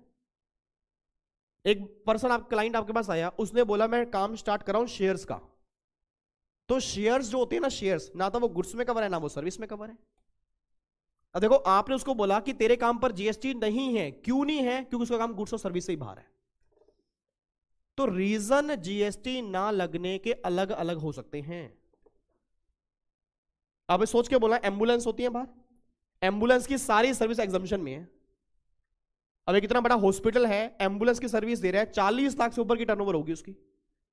सर्विस में भी कवर है सप्लाई में भी कवर है इंडिया में है टैक्सेबल पर्सन भी है, फिर भी जीएसटी नहीं है, क्योंकि एग्जामेशन में है।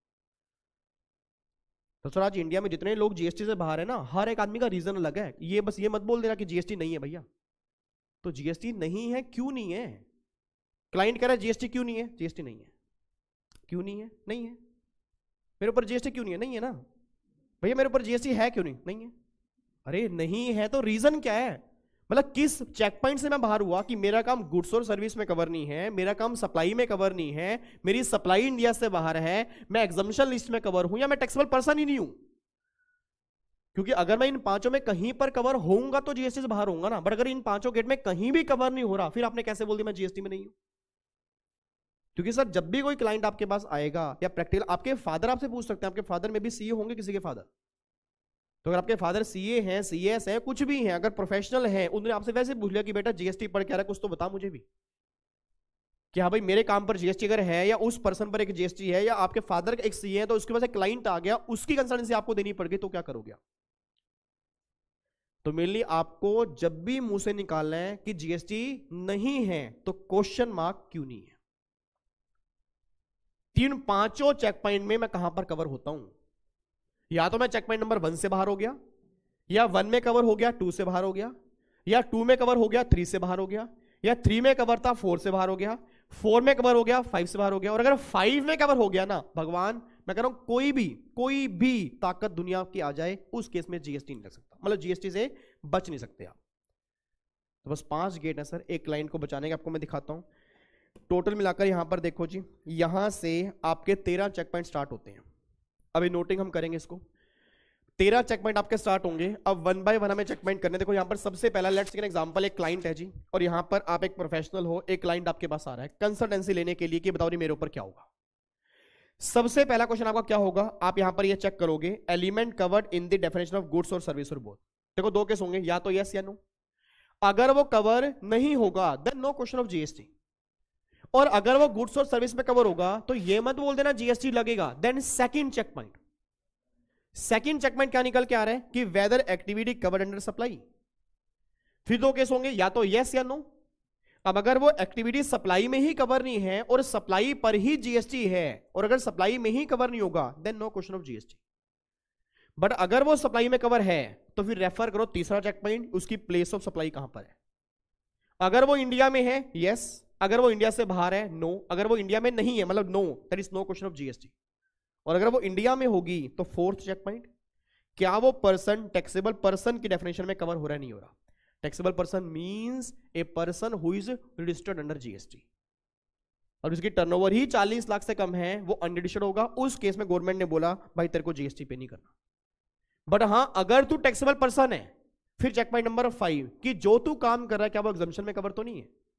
और अगर तेरा काम एग्जामेशन में यस कवर है सॉरी एग्जामेशन में कवर यस हो गया। तो भैया जीएसटी लगेगा बट देना नहीं पड़ेगा। बट अगर एग्जामेशन में कवर नहीं हो रहा, देखो मैंने क्या लिखा है? जीएसटी लेविड एंड कलेक्टेड उसके बाद फिर जाके स्टार्ट होंगे कलेक्शन के प्रोसेस तो पाँच चेक पॉइंट तक लगने या ना लगने की बातें होती हैं, और छठे चेक पॉइंट से बातें स्टार्ट हो जाती हैं कि लग तो चुका है।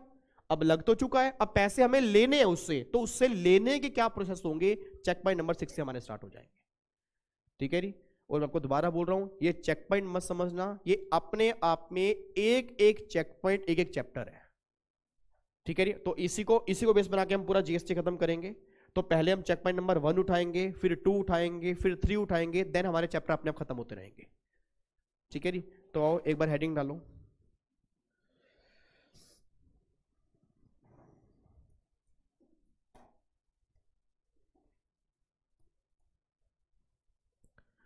लो जी।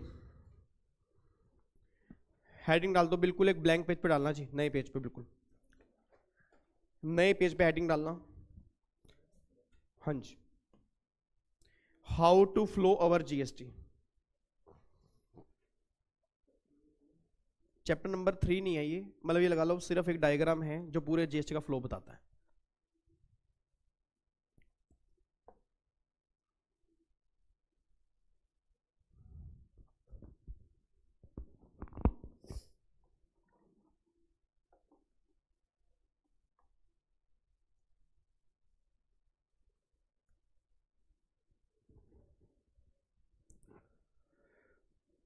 How to flow our GST.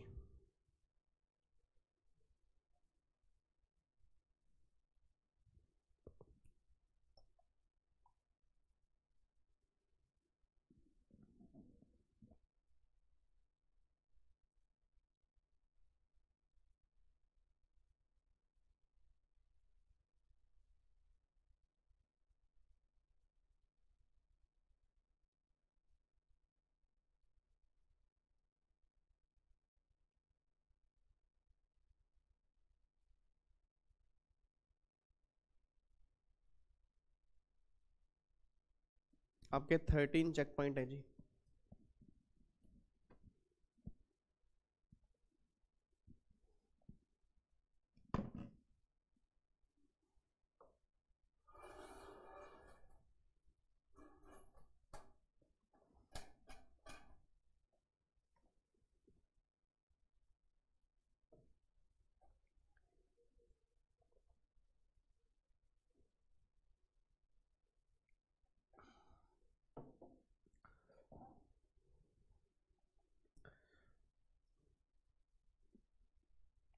सबसे पहले आप चेक करोगे कि कोई भी एलिमेंट जो है,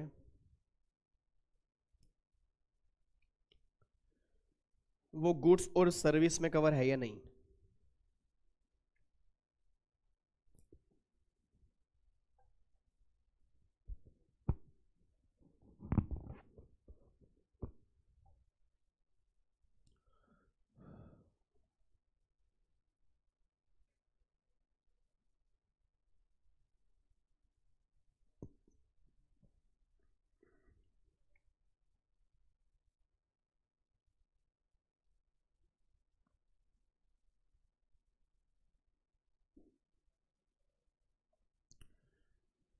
दो केस होंगे। या तो वो गुड्स और सर्विस में कवर होगा और या वो कवर नहीं होगा।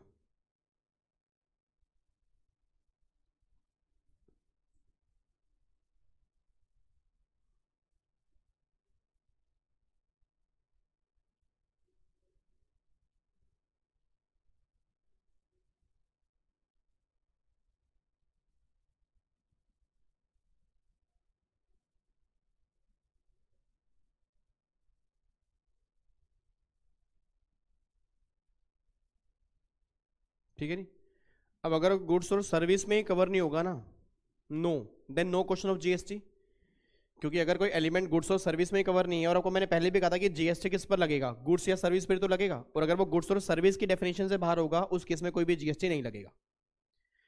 बट अगर वो गुड्स और सर्विस की डेफिनेशन में कवर हो जाता है, मान लो कवर हो गया then second check point check करोगे आप। Whether activity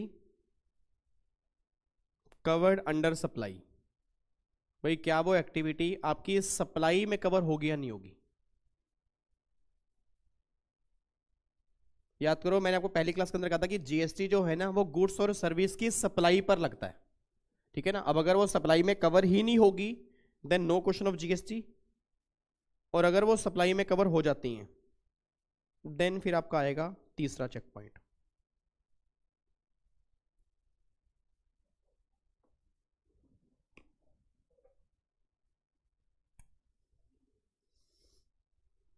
कर दूँ ऊपर जी?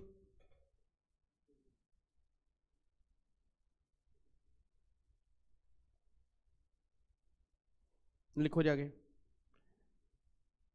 थर्ड चेक पॉइंट है whether place of supply in taxable territory taxable territory का मतलब पता है क्या है? कि जहाँ पर ये टैक्स लगता है that is India it mean अगर तुम्हारा पीयूएस इंडिया में आएगा फिर तो जीएसटी की बात करोगे, और अगर तुम्हारा प्लेस ऑफ़ सप्लाई ही इंडिया से बाहर आएगा, उस केस में जीएसटी की बात नहीं होगी।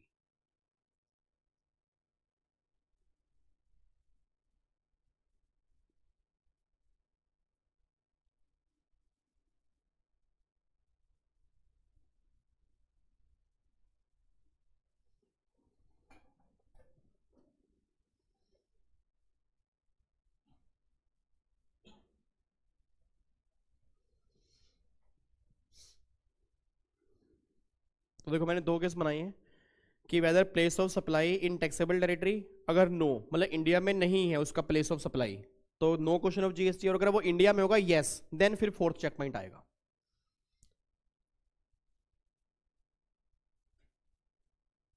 और फोर्थ चेक पॉइंट क्या है? कि whether person covered under the definition of taxable person it means क्या वो पर्सन टैक्सेबल पर्सन की डेफिनेशन में कवर है या नहीं टैक्सेबल पर्सन मींस जिसकी टर्नओवर 40 लाख से ऊपर होनी चाहिए। अच्छा कुछ केस में लिमिट ना बीस लाख भी है, कुछ केस में दस लाख भी है।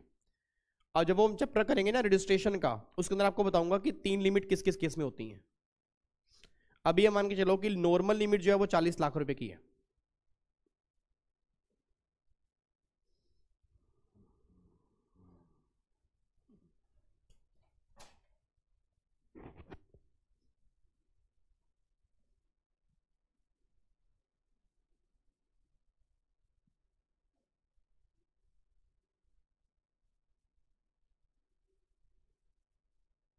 चेक पॉइंट नंबर फाइव है।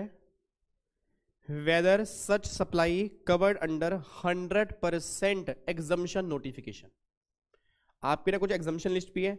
अच्छा आपके एग्ज़ाम में ना गुड्स वाली लिस्ट जो है, वो सिलेबस में कवर नहीं है।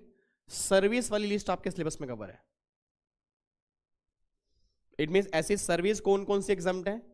वो हमारे सिलेबस में कवर है। ऐसे गुड्स कौन कौन से एग्ज़ाम है? वो हमारे सिलेबस में कवर नहीं है।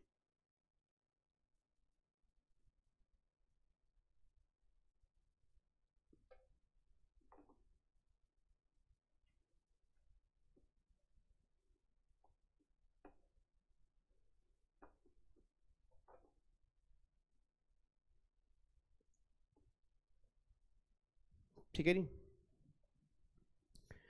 अब देखो जी, दो केस होंगे। या तो एग्जामिशन में कवर होंगे, या वो कवर नहीं होंगे।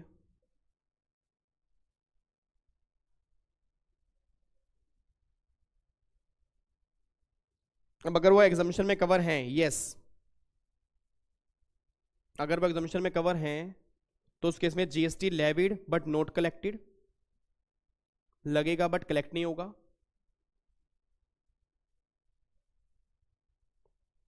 और अगर वो एग्जामिशन में कवर नहीं होंगे ना तो फिर तो जीएसटी लग भी जाएगा और जीएसटी आपको देना भी पड़ेगा।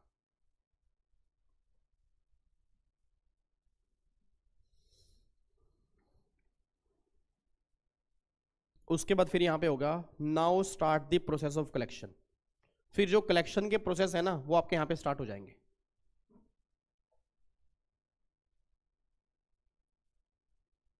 ठीक है जी? अब यहाँ पर आ जाओ जी gate number six gate number six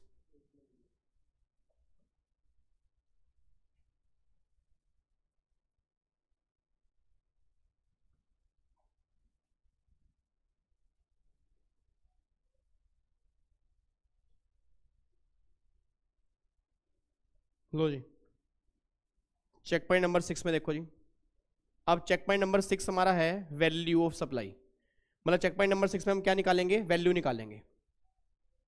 एक बार लिखो, इसको फिर समझते हैं।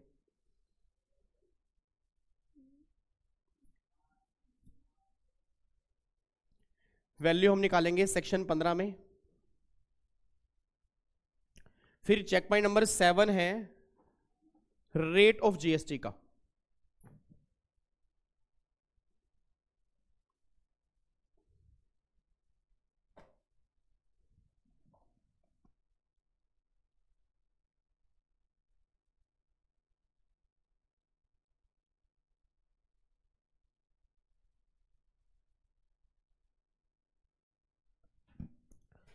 चेक पॉइंट नंबर सेवन है रेट ऑफ़ जीएसटी अच्छा रेट आप सब जानते हो रेट हमारे चार है। पाँच, बारह, अठारह, अट्ठाईस। चेक पॉइंट नंबर एट है who is liable to pay GST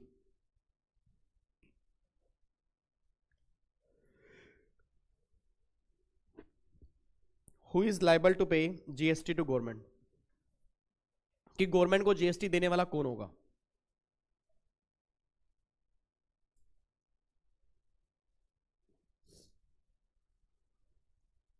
तीन लोग होते हैं। या तो सप्लायर गवर्नमेंट को जीएसटी पे करेगा। या रिसीवर गवर्नमेंट को जीएसटी पे करेगा। और या थर्ड पर्सन जो है, वो गवर्नमेंट को जीएसटी पे करेगा। अब इसका मतलब क्या है? अब इसको हम समझेंगे अभी। अब अगर सप्लायर पे करेगा ना, उसको हम बोलते हैं फॉरवर्ड चार्ज और नॉर्मल चार्ज अगर सप्लायर पे करेगा, उसको हम बोलते हैं फॉरवर्ड चार्ज और नॉर्मल चार्ज और अगर वो रिसीवर गवर्नमेंट को जीएसटी पे करेगा, उसको हम बोलेंगे रिवर्स चार्ज और अगर कोई थर्ड पार्टी पे करेगी उसको हम बोलेंगे स्पेशल प्रोविज़न अंडर जीएसटी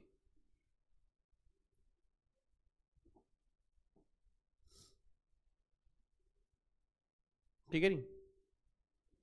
उसके बाद देखो जी after decision who is liable मतलब जब तुम ये पता लगा लोगे कि लाइबल कौन है then then check point number nine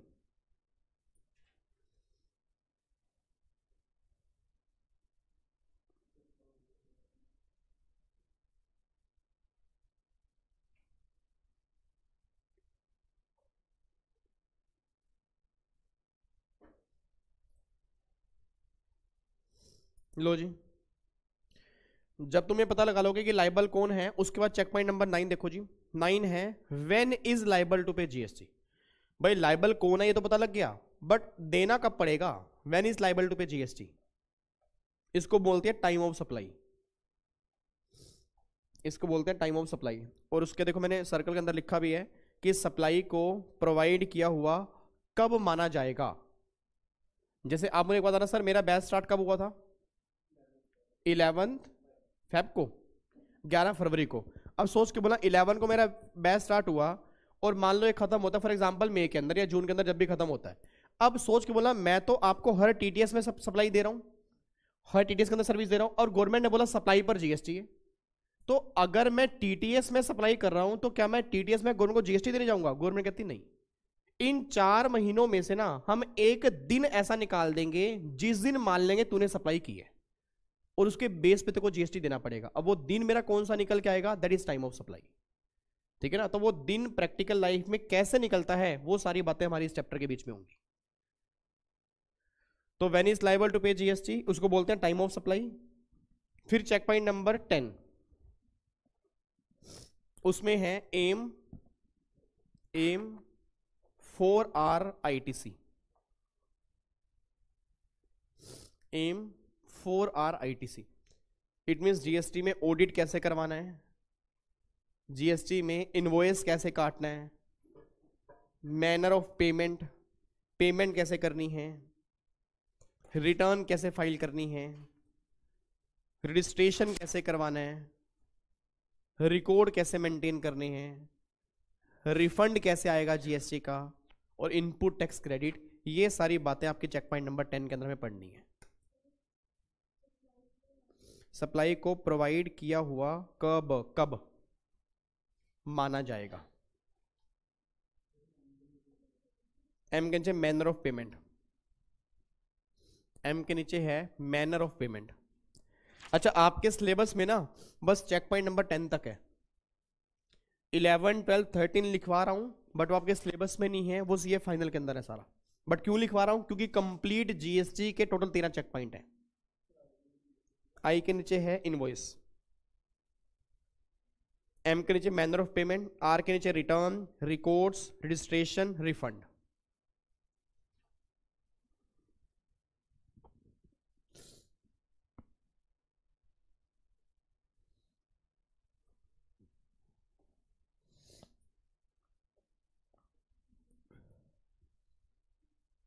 invoice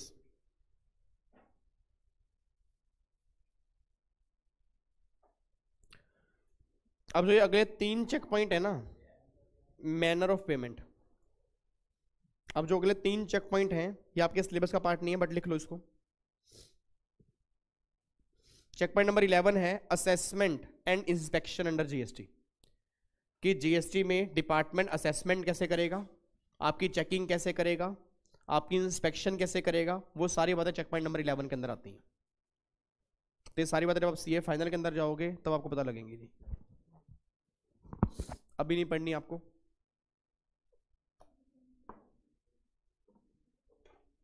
फिर चेक पॉइंट नंबर ट्वेल्व है अपील एडवांस रूलिंग एटसेट्रा कि अगर कोई डिपार्टमेंट ने कुछ आपके अगेंस्ट कुछ कर दिया, आप हाई कोर्ट सुप्रीम कोर्ट में अपील करोगे तो अपील कैसे करनी होती है? एक अथॉरिटी होती है एडवांस रूलिंग उसके पास कैसे जाना होता है? वो सारी बातें आपकी बाद में आएँगी। और फिर लास्ट में चेक पॉइंट नंबर थर्टीन है कि अगर आपने कोई डिफ़ॉल्ट कर दिया तो क्या इंटरेस्ट और क्या पेनल्टी और क्या प्रोसिक्यूशन आपके अगेंस्ट होंगे? वो सारी बातें भी आपकी सीए फाइनल के अंदर आएँगी। तो ये तीन चेक पॉइंट आपके सीए फाइनल के हैं, बाकी दस चेक पॉइंट आपके सीए इंटर के हैं, और पूरे जीएसटी के कंप्लीट तेरह चेक पॉइंट आपके सामने हैं।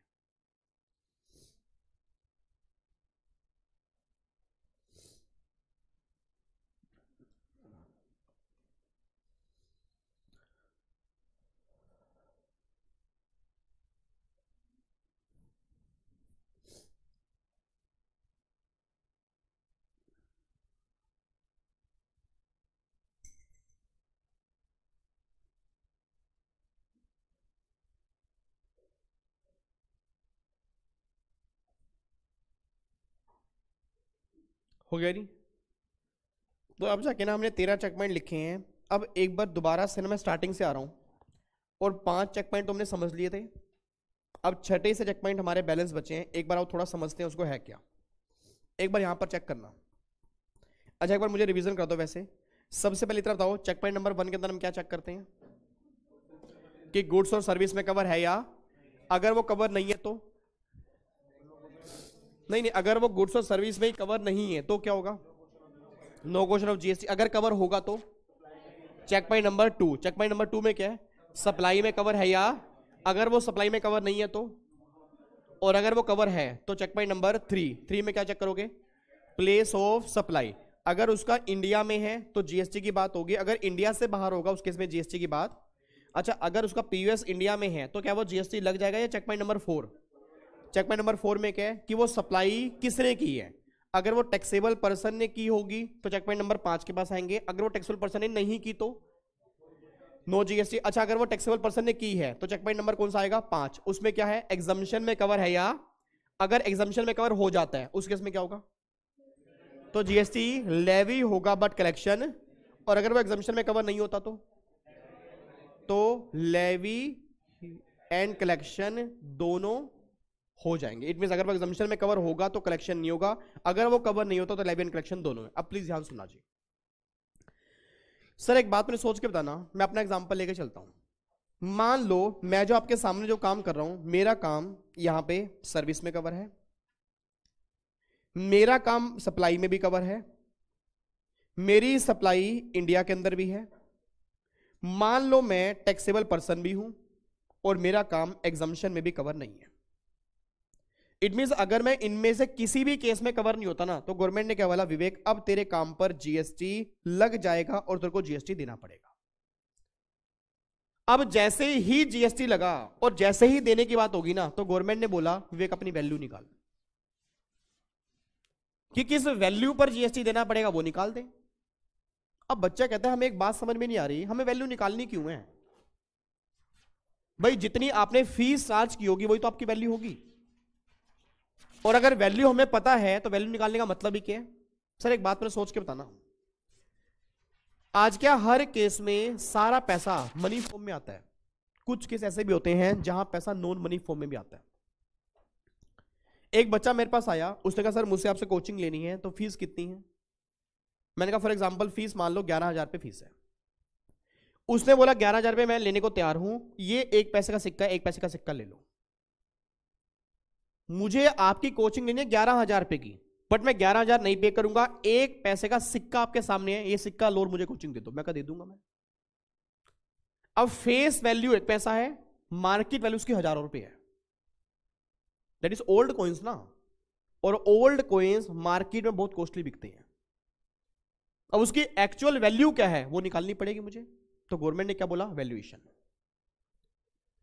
दूसरा बच्चा आया, कह रही फ़ीस कितनी है? मैं कह रही, ग्यारह हज़ार रुपए की। कह रही है चार हज़ार रुपए पकड़ लो और बाकी ये गिफ्ट ले लो। अब जो उसने मुझे इन काइंड में दिया, उस इन काइंड की वैल्यू क्या होगी? वैल्यू निकालनी पड़ेगी गवर्नमेंट बोलती है वैल्यूएशन तो ये बात कहना चाह रहा हूँ कि अगर सारा पैसा मनी फॉर्म में नहीं होगा, उस केस में वैल्यू कैसे निकालनी होगी? That is section number 15 gate number 6 के अंदर जाना पड़ेगा। तो प्रैक्टिकल लाइफ में आज जितने भी लोग इंडिया में जब जीएसटी एप्लीकेबल करते हैं ना तो ना वो वैल्यू कैलकुलेट करेंगे। सारी वैल्यू आपकी पंद्रह में कैलकुलेट होती है। आपको वहाँ जाके दिखाऊँगा सेक्शन पंद्रह के कई सारे क्लोज होते हैं और अगर आप इन क्लोज के अंदर कवर होते हो तो वैल्यू निकलती है। तो अपने माइंड में ये लेके चला कि वैल्यू जितना आपने चार्ज किया, वही वैल्यू होगी, ऐसा ज़रूरी नहीं होता। अब वैल्यू कितनी निकल के आएगी? वैल्यू हमें कैसे निकालनी पड़ेगी? वो सारी की सारी बातें गेट नंबर सिक्स में आती है। ठीक है नहीं मान लो, चलो जी, मैंने गेट नंबर सिक्स में ना वैल्यू निकाल दी, मेरी वैल्यू निकल के आ गई। अब मेरी वैल्यू निकल के आ गई, अब अगर वैल्यू को रेट से मल्टीप्लाई करूँगा तो मेरा क्या निकल के आएगा? जीएसटी निकल के आएगा। रेट मुझे पता है रेट मेरे फिक्स है वैल्यू मैंने निकाल ली, मेरा जीएसटी निकल के आ गया। अब जब ये मेरा जीएसटी निकल के आया, सबसे बड़ा question who is liable to pay GST sir, एक बात मैंने सोच के बोलना, आप में से हल्दीराम, डोमिनोज, मैकडी पिज्जा आप किसी भी रेस्टोरेंट में कहीं पर भी आज तक आप गए हो हर केस में आपने देखा होगा जीएसटी सप्लायर गवर्नमेंट को देके आता है। मैं सप्लायर हूँ, आपको मैंने बिल रेस किया, उस बिल में आपकी जेब में हाथ डाला, वहाँ से जीएसटी लिया, मैं गवर्नमेंट को देकर आ गया। बट जीएसटी में 28 केस ऐसे हैं जहाँ पर जीएसटी रिसीवर गवर्नमेंट को देकर आता है। बच्चा कहता हैं, सर, ऐसे कौन से केस हैं? उनको हम बोलते हैं reverse charge it mean Ganga सीधी बहेगी या उल्टी बहेगी? अगर गंगा सीधी बहेगी तो सप्लायर जीएसटी पे करेगा। और अगर गंगा उल्टी बहेगी तो रिसीवर जीएसटी पे करेगा। अब ऐसे कौन से केस एग्जांपल मैं आपको देता हूँ? पहला एग्जांपल है इंपोर्ट ऑफ़ सर्विस का। सर, एक बात मैंने सोच के बोला, मैंने सर्विस इंपोर्ट की है। अब अगर मैंने सर्विस इंपोर्ट की, पूरी क्लास से क्वेश्चन है। अगर मैंने सर्विस इंपोर्ट की सप्लायर बाहर का होगा? रिसीवर इंडिया का होगा? अब अगर सप्लायर बाहर का है, अगर वो गवर्नमेंट को जीएसटी पे करेगा, बहुत बड़ी दिक्कत आ जाएगी। गवर्नमेंट ने बोला, उस केस में ना हम गर्दन पकड़ेंगे रिसीवर की, जो रिसीवर होगा, वो हमें जीएसटी पे करेगा सप्लायर हमें पे नहीं करेगा। इसको बोलते हैं रिवर्स चार्ज आज टोटल 28 केस ऐसे हैं, जिसमें आठ के, आठ केस गुड्स वाले हैं और 20 केस आपके सर्विस वाले हैं। बट आपके लिए सीए इंटर में खुशी की बात इतनी है कि गुड्स वाले केस आपके कवर नहीं है सर्विस वाले केस सिर्फ़ कवर है आपके। बट प्रैक्टिकल लाइफ में जो भी पर्सन इन 28 एक्टिविटी में डीलिंग करेगा ना, वो रिवर्स चार्ज के अंदर कवर होगा, बाकी सारे केस आपके फॉरवर्ड चार्ज में कवर होंगे। अब बच्चा कहता है, सर, आपने यहाँ पर एक बात और लिखी है, या तो पे करता है सप्लायर या पे करता है रिसीवर या पे करता है थर्ड पार्टी अब ये थर्ड पार्टी कौन है? थर्ड पार्टी होते हैं इलेक्ट्रॉनिक कॉमर्स ऑपरेटर ईसीयू अब ये ईसीयू कौन होते हैं? जितने भी आपके ऑनलाइन वेबसाइट वाले होते हैं ना एमेजोन हो गया फ्लिपकार्ट हो गया स्नैपडील हो गया, कुछ केस में ये भी गवर्नमेंट को जीएसटी देकर आते हैं। सर, एक बात मैंने सोच के बताना एमेजोन है क्या? एक बिचौलिया ही तो है। एमेजोन क्या है? एक बिचौलिया है, एक मीडिएटर है। जितना सामान एमेजोन पे है, उसके खुद का है ही नहीं। वो कहीं से सामान लेकर हमें सामान देता है और बीच में कमीशन खा जाता है। अब सोच समझ के बोलना, एक कमीशन खाने वाला, एक बिचौलिया वर्ल्ड का नंबर वन रिचेस्ट पर्सन है। इमेजिन कर सकते हो आप कि जो आदमी सिर्फ़ कमीशन खा रहा है, जो एक बिचौलिया है, जो एक मीडिएटर है, वो वर्ल्ड का नंबर वन रिचेस्ट पर्सन बन चुका है। और वो अपनी वजह से नहीं बना हमारी वजह से बना ना वो तो। क्योंकि आज हमारा सारा काम किस पे डिपेंड कर गया? ऑनलाइन पे। एक जमाना था आप शॉपिंग करने मार्केट के अंदर जाते थे, एक जमाना अब है आप शॉपिंग मोबाइल में कर लेते हो। एक जमाना था लोग सब्ज़ी मंडी जाते थे, दो किलो टमाटर, दो किलो प्याज लेने के लिए। आज सब्ज़ी मंडी भी मोबाइल के अंदर है, ग्रोफर एक ऐप आती है, उसके अंदर आप कुछ भी मंगा सकते हो। इट मीन प्रॉब्लम क्या? आज अगर स्विगी वाला ना, स्विगी वाला अगर हम यहाँ रहते हैं, स्विगी वाला वहाँ खड़ा होगा ना, उसको क्या बोलेंगे? यहाँ सामान देने, यहाँ। अगर वहाँ देने, जा, चला जा। हम तेरा ऑर्डर कैंसिल कर रहे हैं। अब सोच के बोलना, एक तरह से ऑनलाइन मार्केट ने हमारी पूरी बॉडी कैप्चर कर ली। हमारे फ़िज़िकल एक्टिविटी कम होने का रीजन बहुत बड़ा ऑनलाइन भी है सर आप खुद आप इमेजिन करो, जब हम पहले पुराने जमाने का, आजकल हमारी मदर जो है, सब्ज़ी मंडी जाती थी, हम मार्केट में जो ये मंगल बाज़ार लगता है, ये बाज़ार है, बहुत जगह हम सामान लेने जाते थे, अब नहीं जाते। रीजन बींग क्या है? एमेजोन फ्लिपकार्ट मिंत्रा आप दो मिनट में सामान मंगाते हो, पसंद नहीं आता, वापस कर देते हो आपको फैसिलिटी मिल गई ना? आप जितने बच्चे यहाँ पर बैठे होंगे, मेरे ख्याल से सौ परसेंट बच्चे के पास एमेजोन होगी। फ्लिपकार्ट मिंत्रा कोई ना कोई एक ऐप पक्का होगी। अब बहुत सारे लोग मैंने देखे हैं, सर, मेरे साथ खुद इवन मेरे कई दोस्त ऐसे हैं जो सामान मंगाते हैं अमेजोन से तीन चार दिन यूज़ करते हैं, वापस कर देते हैं। आपको रियलिटी बता रहा हूँ, ये लोग ऐसे इंडियंस है ना, सर? माइंड तो तेज चलेगा उनका। अब पीछे अभी जब पोल्यूशन बहुत ज़्यादा फैल गया था तो मेरे दोस्त ने क्या किए? तीन एयर प्यूरिफायर मंगा लिया अमेजोन से। ऑफ़िस में तीन दिन लगा के बैठा, चौदह दिन वापस कर दी मैं को भाई साहब, मैं को यार, कमाल है तेरी यार। कहता, और क्या? आठ दिन तक आठ दिन तक रिप्लेसमेंट थी, तीन दिन हुए थे, मैंने वापस कर दी। अब सोच के देखना, आपको पता हो अमेजोन फ्लिपकार्ट इंडिया में लॉस में है। इंडिया में प्रॉफिट में नहीं है बट फिर भी इंडिया में क्यों आ रही है? क्योंकि कंजम्पशन यहाँ बहुत ज़्यादा है। क्योंकि एक बार अगर मुँह पे बस खून लग गया ना अमेजोन का तो आने वाले टाइम में वो प्रॉफिट कमा जाएँगे। अभी तो सिर्फ़ क्या है? वो टेस्ट लगा रहे हैं। वो टेस्ट ऑलमोस्ट लग चुका है। और अगर कल अमेजोन ने कुछ भी, या किसी भी ऑनलाइन वेबसाइट ने कुछ भी डिलीवरी चार्जेस एक्स्ट्रा कर दिए आप वहीं से लोगे, आप अब मार्केट नहीं जा सकते, क्योंकि आपके अब काम हो चुका है। आपको मैं रियलिटी बता रहा हूँ सर अब सोच के देखो ना, अब सारी की सारी, आज जितना बिज़नेस जो कम हो गया, किस लिए? ऑनलाइन वेबसाइट से। आज आपको बुक परचेज करनी है, आप ऑनलाइन परचेज कर लेते हो। कुछ भी चीज़ परचेज करनी है और सौ परसेंट चीज़ें बच्चा मोबाइल के अंदर ले सकता है। आज रिचार्ज करना है रिचार्ज भी ऑनलाइन हो जाता है।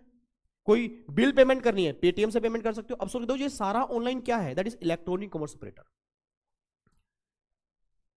एक जमाना था, घर में कोई चीज़ करवानी हो, उसके लिए हम जाते थे मैकेनिक के पास। आज अर्बन क्लैप है, बुला लेते हैं घर में। हाँ भाई कारपेंटर अर्बन क्लैप पे गए कारपेंटर बुक किया, घर में आ गया, और चाहे वो पैसे ज़्यादा ले रहे हैं। क्या लग रहा है? यार, सौ रुपए तो ज़्यादा ले रहा है ना, यार, घर में तो आ रहा है। अब सोच के बोला, घर बैठे बैठे अगर आपको एक्टिविटी मिल एक्टिविटी मिल रही है तो गवर्नमेंट अब यहाँ पर ये बात बोलेगी, कुछ केस ऐसे होंगे जहाँ पर हमें जीएसटी ना सप्लायर पे करेगा, ना रिसीवर पे करेगा, ये बिचौलिया पे करेगा। और वैसे कौन कौन से केस होंगे जहाँ पर ईसीओ हमें जीएसटी पे करेगा? एक सेक्शन नाइन है चार्जिंग सेक्शन है नाइन फाइव में आऊँगा, उसमें आपको बताऊँगा ये क्या है। बस इतना सुन लेना, आपके सीए इंटर में, अभी लास्ट एग्ज़ाम के अंदर लास्ट क्लास के अंदर एक क्वेश्चन बना था कि क्या जीएसटी में ऐसा भी कोई पर्सन है कि जो ना तो रिसीवर है, ना ही वो सप्लायर है, फिर भी जीएसटी पे कर रहा है? Answer is yes that is electronic commerce operator वो आपको एक्सप्लेन करना था, पाँच नंबर के अंदर थियोटिकल क्वेश्चन आया था ये वाला। अब बच्चों को समझ नहीं आया क्वेश्चन है क्या? क्योंकि बच्चा रटके गया था, उसको पता या तो सप्लायर पे करता है, या वो रिसीवर पे करता है थर्ड पार्टी कभी पे ही नहीं करता। तो थर्ड पार्टी भी जीएसटी में जीएसटी पे करता है that is electronic commerce operator और वो जितने भी ऑनलाइन वाले हैं, वो सारे यहाँ पर आते हैं। बट आपको दिखाऊँगा नाइन फाइव भी ना, हर केस के ऊपर एप्लीकेबल नहीं होगा। कुछ ईसीओ पर लगेगा, कुछ ईसीओ पर नहीं लगेगा, और जिन ईसीओ पर नहीं लगेगा ना, उस पर एक प्रोविज़न और लग जाएगा। और आप खुद समझदार हो, आज में से वैसे एक, चलो एक बात मुझे बताना किस किस बच्चे ने वैसे कभी अमेजोन फ्लिपकार्ट इन सब ऑनलाइन से कभी ऑर्डर किया है? ऑलमोस्ट सौ परसेंट क्लास ने ऑर्डर किया होगा। अब सोच के बोला जब भी आप ऑर्डर करते हो, आप यहाँ बैठे होते हो। एमेजोन वाला ये बीच में बैठा होता है और एक आदमी यहाँ पर बैठा होता है। ठीक है नहीं आपने कई बार देखा होगा, जब भी आपने अमेजोन फ्लिपकार्ट किससे भी ऑर्डर किया, मैसेज आता है कि तुम्हारा सामान महाराष्ट्र से चल चुका महाराष्ट्र। गुजरात, मुंबई, कमाल की बात देखो, उसको मैं जानता ही नहीं, कौन है? मैंने अमेजोन पे सर्च किया पावर बैंक चाहिए। पावर बैंक लिखा, जिसके रिव्यू अच्छे लगे, मंगा लिया। अब कमाल के देखो, जो भेजने वाला है, वो मुझे नहीं जानता। मैं उसे नहीं जानता, हम दोनों को मिलवाने वाला कौन हो गया? अमेजोन और वो क्या कर गया? कमीशन खा गया। उसने दुकानदार को बोला होगा ना, कि भाई, अगर मैं तेरा सामान बिकवाऊँगा, हर सामान की कमीशन इतनी लूँगा मैं। तो मैं कहते हैं अमेजोन का ओनर वो है ना जेफ बिजोस बिजोस वर्ल्ड का नंबर वन पर्सन है, बिल गेट से भी ऊपर जा चुका है। अभी नीचे आ गया था, उसकी वाइफ का डाइवोर्स जब हो गया था, अब फिर ऊपर चला गया। तो आप इमेजिन कर सकते हो, आज पूरे वर्ल्ड में अमेजोन कितने ऊपर जा चुका है। तो सिंपल सी बात ये निकल के रही है, और आने वाले टाइम में आप वो देख लो ना, आज आज फेसबुक हो गया इंस्टाग्राम हो गया व्हाट्सएप हो गया, उस पर भी मार्केटिंग आती है। आपने कई बार देखा होगा फेसबुक इंस्टाग्राम व्हाट्सएप ये तीनों उसके हैं ना मार्क जुगरबर्ग मार्क जुगरबर्ग जो है। अभी वो वर्ल्ड का नंबर सिक्स परसेंट था। आपको मैंने पहले बताया भी था। नहीं बताया मैंने आपको? वर्ल्ड का नंबर सिक्स परसेंट अभी वर्ल्ड का नंबर सिक्स परसेंट पे था और अब वो नंबर एट या नंबर नाइन पे आ गया। आप चेक करो, आपने कई बार इमेजिन किया होगा कि जब भी आप फ्लिप अपना फेसबुक इंस्टाग्राम या व्हाट्सएप पे कई बार आपने इमेजिन किया वैसे कि जब भी हम कोई चीज़ गूगल पे सर्च करते हैं ना, हमारी एमेजोन सॉरी हमारी व्हाट्सएप और इंस्टाग्राम और फेसबुक पे आनी स्टार्ट हो जाती है। रीजन बीइंग क्या है? अभी आपको हो ये मार्क जुगरबर्ग जो है, इसके ऊपर केस हो गया था अभी। अभी यूएसएमएस के ऊपर केस हो गया था सर ये डेटा लीक करता है। डेटा लीक कैसे करता है? मैंने दोस्त को मैसेज किया। दोस्त को, किसी को नहीं, दोस्त को मैसेज किया पावर बैंक चाहिए। हर जगह पावर बैंक दिखना स्टार्ट हो जाता है। कमाल की बात। भाई, मैंने पावर बैंक किसी को बताया ही नहीं। मैंने पावर बैंक सर्च ही नहीं किया। फिर मैं कोई ऐप ओपन करूँ साइड में पावर बैंक आ रहा है। इस कंपनी का पावर बैंक मैं दिमाग खराब हो गया पावर बैंक आ कैसे रहा है? उसने डाटा लीक कर दिया। आपको लग रहा है आपके मैसेज कोई नहीं पढ़ रहा। पीछे मार्क जुगर बैठा है। नहीं कैचे नहीं सर आपने कई बार देखा होगा, जब भी आप ऐप ऑन करते हो अलाउ अलाउ नहीं बोलते वो? Allow allow allow allow allow कभी आपने पढ़ा वो क्या बोलते हैं? ना ना सर हम तो अलाउ कर देते हैं, बस हमें क्या कुछ भी पढ़ते रहे। आपको भी ध्यान से पढ़ना, उसमें लिखा होता है आपके कॉन्टेक्ट पढ़ सकते हैं अलाउ आपकी सारी फ़ोटोज़ हम देख सकते हैं अलाउ आपकी सारी वीडियोस हम देख सकते हैं अलाउ आपकी चैट हम पढ़ सकते हैं अलाउ बस, मार्क जुबर बैठ के पीछे, बैठ गया वो आपके। अब जैसे आपने बोला हे बेबी मार्क जुबर कह रहा है हे बेबी बात खत्म। आपको लग रहा है आपने मैसेज डिलीट कर दिए, उस आपने लिए कर दिया, उसके लिए नहीं किया आपने? जहाँ आपने मैसेज पर कोई भी आइटम लिखी, उसको पता लगा, उसने वो दूसरी कंपनी वाले को बोल दिया, इसको आइटम चाहिए, पकड़ ले इसको यहाँ से। ऐसा डाटा लीक करता है वो। अभी उसके ऊपर केस हो गया था ना, उसने डाटा लीक कर दिया, तभी वो वर्ल्ड के नंबर एट पे आ गया था, अब दोबारा सिक्स पे आ गया। तो आज जितनी बड़ी मार्केटिंग कंपनी आज जो इसको पैसा देती है ना, वो किसी को भी नहीं देती। क्योंकि आज तीन चीज़ें हैं, सर। और आज आपका पूरा टाइम मेजोरिटी टाइम या तो इंस्टाग्राम खाता है या फेसबुक खाता है या आपका व्हाट्सएप खाता है। इन दोनों के और खाता क्या अब एक नया आ गया टिकटॉक आ गया जिसमें नहीं, नहीं चलता रहता है वो।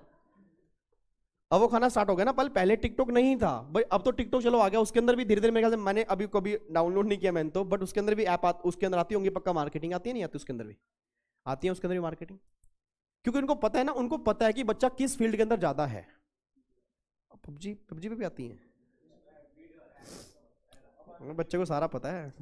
तो मतलब कहना है सिंपल सी बात ये चाह रहा हूँ सर मेरा कंक्लूजन बस ये है कि जीएसटी में इलेक्ट्रॉनिक कॉमर्स ऑपरेटर जो भी थर्ड पार्टी होते हैं, जो बिचौली होते हैं, जो मीडिएटर होते हैं, वो भी कुछ केस में जीएसटी पे करेंगे। अब चाहे वो सप्लायर नहीं है, क्योंकि सप्लायर कोई और है रिसीवर कोई और है, वो बिचौलिया है तो गवर्नमेंट ने बोला? वो भी हमें जीएसटी पे करेगा। तो आज जीएसटी में तीन लोग जीएसटी दे के आते हैं, या तो सप्लायर या रिसीवर और या थर्ड पार्टी अब सोच के बोल देना सर, अगर सप्लायर जीएसटी पे करके आएगा, उस केस में क्या बोलते हैं? फॉरवर्ड चार्ज रिसीवर पे करेगा, क्या बोलेंगे? रिवर्स चार्ज और अगर ये पे करेगा तो स्पेशल प्रोविज़न ऑफ़ जीएसटी ठीक है जी? अच्छा अब बच्चा ये बात कहता है, चलो सर मान लिया कि कोई भी जीएसटी पे करे। अब चाहे वो सप्लायर पे करे, चाहे वो रिसीवर पे करे, और चाहे वो थर्ड पार्टी पे करे बट देना कब होगा? जैसे मैंने आपको एग्जांपल दिया, सर एक बात मैंने सोच के बताना। आपने कभी प्रैक्टिकली इमेजिन किया? आप कहीं से भी अगर कोचिंग ले रहे हो तो कई बार क्या होता है कि हम फुल पेमेंट एक बार नहीं करते, हम इंस्टॉलमेंट के अंदर करते अब सोच के बोला, एक टीचर की कोचिंग चली पूरे चार महीने, और उसने बीच में आपसे कई बार पेमेंट ली, बीच में कई बार आपको इनवॉइस इशू किया, और सप्लाई वो कर रहा है पूरे या तो सात दिन कर रहा होगा, या टीटीएस में कर रहा होगा, या एमडब्ल्यूएफ में कर रहा होगा, यही काम कर रहा होगा ना।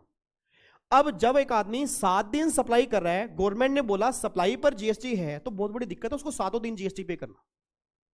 तो गवर्नमेंट ने क्या बोला, सुन भाई, जितनी तेरी सप्लाई है ना, इस सारी सप्लाई का हम एक दिन निकाल देंगे, जिस दिन मान लेंगे तूने सर्विस दी है। और जो दिन वो तेरा निकल के आएगा ना, जो दिन वो तेरा निकल के आएगा, वो चेक कर ले किस महीने में है, उसे अगले महीने की 20 तारीख को हमें जीएसटी पे कर दी। अब वो दिन कैसे निकलता है? वो दिन हमें निकालना कैसे होता है? वो सारी बातें टाइम ऑफ़ सप्लाई के अंदर आती हैं।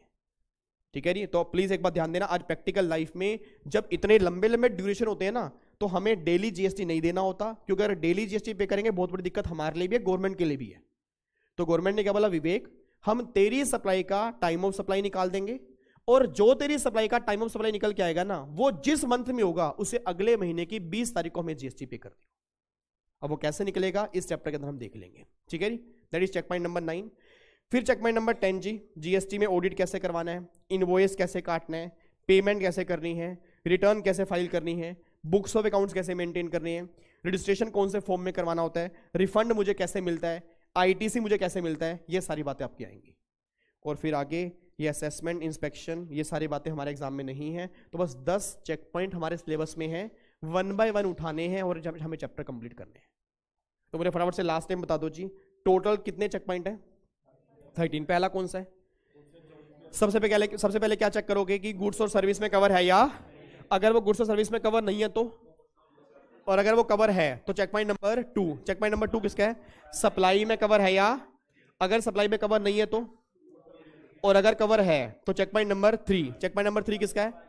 कि प्लेस ऑफ़ सप्लाई इंडिया में है या नहीं है। अगर इंडिया में नहीं है तो जीएसटी और अगर इंडिया में है तो चेक पॉइंट नंबर फोर फिर टैक्सेबल पर्सन है या? अगर टैक्सेबल पर्सन ही नहीं है तो जीएसटी अगर टैक्सेबल पर्सन है तो वो एग्जामेशन में कवर है या? अगर एग्जामेशन में कवर है तो जीएसटी नहीं है। अगर कवर नहीं है तो जीएसटी लेविड एंड फिर गेट नंबर सिक्स में क्या निकालेंगे? वैल्यू सेवन में क्या लेंगे? रेट वैल्यू प्लस रेट क्या निकल के आ गया? जीएसटी अगला क्वेश्चन क्या है? हु इज़ लाइबल टू पे या तो पे करेगा सप्लायर या पे करेगा रिसीवर या पे करेगा थर्ड पार्टी अगर सप्लायर पे करेगा तो फॉरवर्ड चार्ज रिसीवर पे करेगा तो रिवर्स चार्ज और अगर थर्ड पार्टी पे करेगा तो स्पेशल प्रोविज़न ऑफ़ जीएसटी उसके बाद फिर अगला when is liable to pay GST क्या निकल के आएगा? टाइम ऑफ़ सप्लाई फिर गेट नंबर नाइन मेरे ख्याल से है सॉरी टेन है। M four R I T C A का मतलब ऑडिट आई का मतलब इनवॉइस एम का मतलब manner of payment R return records registration refund और आईटीसी मींस क्या होता है? इनपुट टैक्स क्रेडिट और बाकी फिर असेसमेंट की बातें हैं अपील की बातें हैं इंटरेस्ट की बातें हैं, वो सारी बातें हमारे सी फाइनल के अंदर आएँगी. तो ये टोटल मिला के सर आपके सामने तेरह चेक पॉइंट है और बिलीव मी आपके लाइफ में कभी भी जीएसटी में कोई डाउट आ जाएगा ना, बस इनको उठा लेना, आपके सारे डाउट्स खत्म हो जाएँगे. और मेन सबसे इंपॉर्टेंट जो है, वो पहले पाँच चेक पॉइंट है। इट मीन अगर आप पाँचों में कवर हो जाते हो तो जीएसटी नहीं देना पड़ेगा। अगर पाँचों में कवर नहीं होते, देना तो पड़ेगा। अब वो कलेक्शन कैसे होगा, वो सारी बातें फिर आपकी अगले गेट्स में आती है। कोई दिक्कत तो नहीं है? पक्का पक्का? लो जी, अब आपके सामने, इधर देखना ध्यान से, अब ये सारे चेक पॉइंट्स मैंने यहाँ पे रख दिए ठीक है जी? अब सिर्फ़ एक छोटा सा मैं आपको यहाँ पे करवाना चाहता हूँ। एक बार इतना बताना चेक पॉइंट नंबर वन क्या था?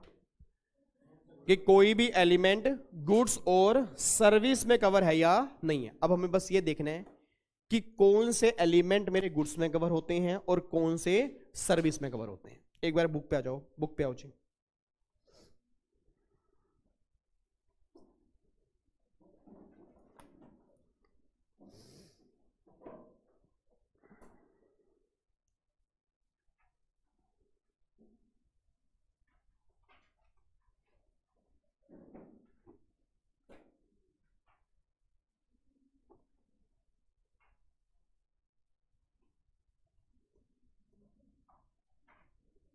जिनके पास बुक नहीं है, वो एक बार यहीं देख लेना जी।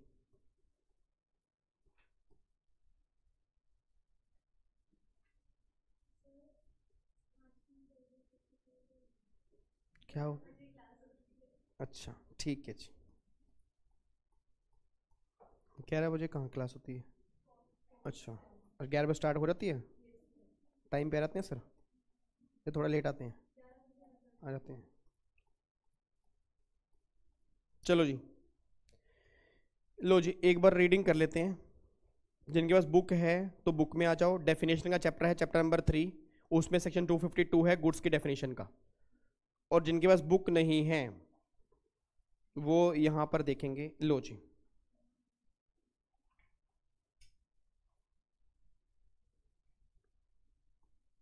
ये लो जी। ये गुड्स की डेफिनेशन है। गुड्स की डेफिनेशन है जी। अब प्लीज़ ध्यान से पढ़ना। आपके सामने सेक्शन 252 है सीजीएस चेक का, वो गुड्स की डेफिनेशन की बात करेगा। अब प्लीज़ एक बार ध्यान से पढ़ना, सर, यहाँ पर क्या लिखा है? पहले तो मुझे इतना बताओ, इन्होंने क्या लिखा है? गुड्स इंक्लूड्स या goods means that is exhaustive definition मतलब गुड्स में यही कवर होगा तो यहाँ पर आएगा, इसके अलावा कुछ गुड्स में नहीं आएगा। सर, अगर वो कहते गुड्स इंक्लूड्स तो गुड्स में ये भी कवर होता और भी आ सकता था। पर उसने बोला, गुड्स मींस ये और कुछ नहीं आएगा। अब एक बार चेक करना, वो क्या कह रहे हैं? वो कह रहे हैं, goods means every kind of movable property other than money and security it mean हर तरह की, हर तरह की मूवेबल प्रॉपर्टी जो होगी ना, वो गुड्स में कवर होगी मनी और सिक्योरिटी को छोड़कर। सर, एक बात मैंने सोच के बताना every kind of movable property अब इसका मतलब क्या है? सोच समझ के बोलना, क्या ये गुड्स है? क्या ये गुड्स है? क्या ये गुड्स है? क्या ये गुड्स है? क्या ये गुड्स है? क्या ये गुड्स है? ये गुड्स है, ये सब कुछ गुड्स है। उसने बोला every kind of movable property other than money and security वो गुड्स है। इट मीन अगर तुम्हारा काम मनी का है अगर तुम्हारा काम सिक्योरिटी का है, वो गुड्स में कवर नहीं है, बाकी सारा कुछ गुड्स में कवर है बट वो कंडीशन क्या है? मूवेबल हो। अच्छा एक बात मैंने सोच के बताना, सर। मूवेबल का मतलब क्या होता है? मूवेबल मीन्स क्या होता है? जो एक जगह से दूसरी जगह पर लेकर जाया जा सकता है। अब प्लीज़ एक बात बताना, सर। आज बड़े बड़े मॉल में सेंट्रलाइज एसी लगे होते हैं। लगे होते हैं? अच्छा क्या वो सेंट्रलाइज एसी मूवेबल है या नहीं है? सोच समझ के बोलना। क्योंकि अगर आप बोलोगे यस तो वो गुड्स है। अगर आप बोलोगे नो तो वो गुड्स नहीं है। सेकंड क्वेश्चन आज बड़ी बड़ी फैक्ट्री में आपने कभी देखा होगा बड़ी बड़ी मशीन लगी होती हैं जो अर्थ से अटैच होती हैं। कई बार आपने देखा है, वो नट बोल्ट कस के पूरी अर्थ से वो अटैच कर देते हैं, फिर उसके अंदर मैन्युफैक्चरिंग स्टार्ट करते हैं। बहुत बड़ी बड़ी मशीनें होती हैं। तो क्या वो बड़ी बड़ी मशीनरी जो नट बोल्ट से अर्थ से कनेक्ट हो चुकी हैं, क्या वो मूवेबल है या नहीं है? यस या नो अगर आप बोलोगे यस तो वो गुड्स है, अगर आप बोलोगे नो तो वो गुड्स नहीं है। मेरे पास समझ में कहना क्या चाह रहा हूँ sir it mean movable means क्या? अब अगर आपने बोला कि, सर, अगर एक स्थान से दूसरे स्थान पर जा सकते हैं, फिर तो बिल्डिंग को छोड़कर सब कुछ जा सकता है। बस बिल्डिंग नहीं जा सकती। बाकी सब कुछ जा सकता है।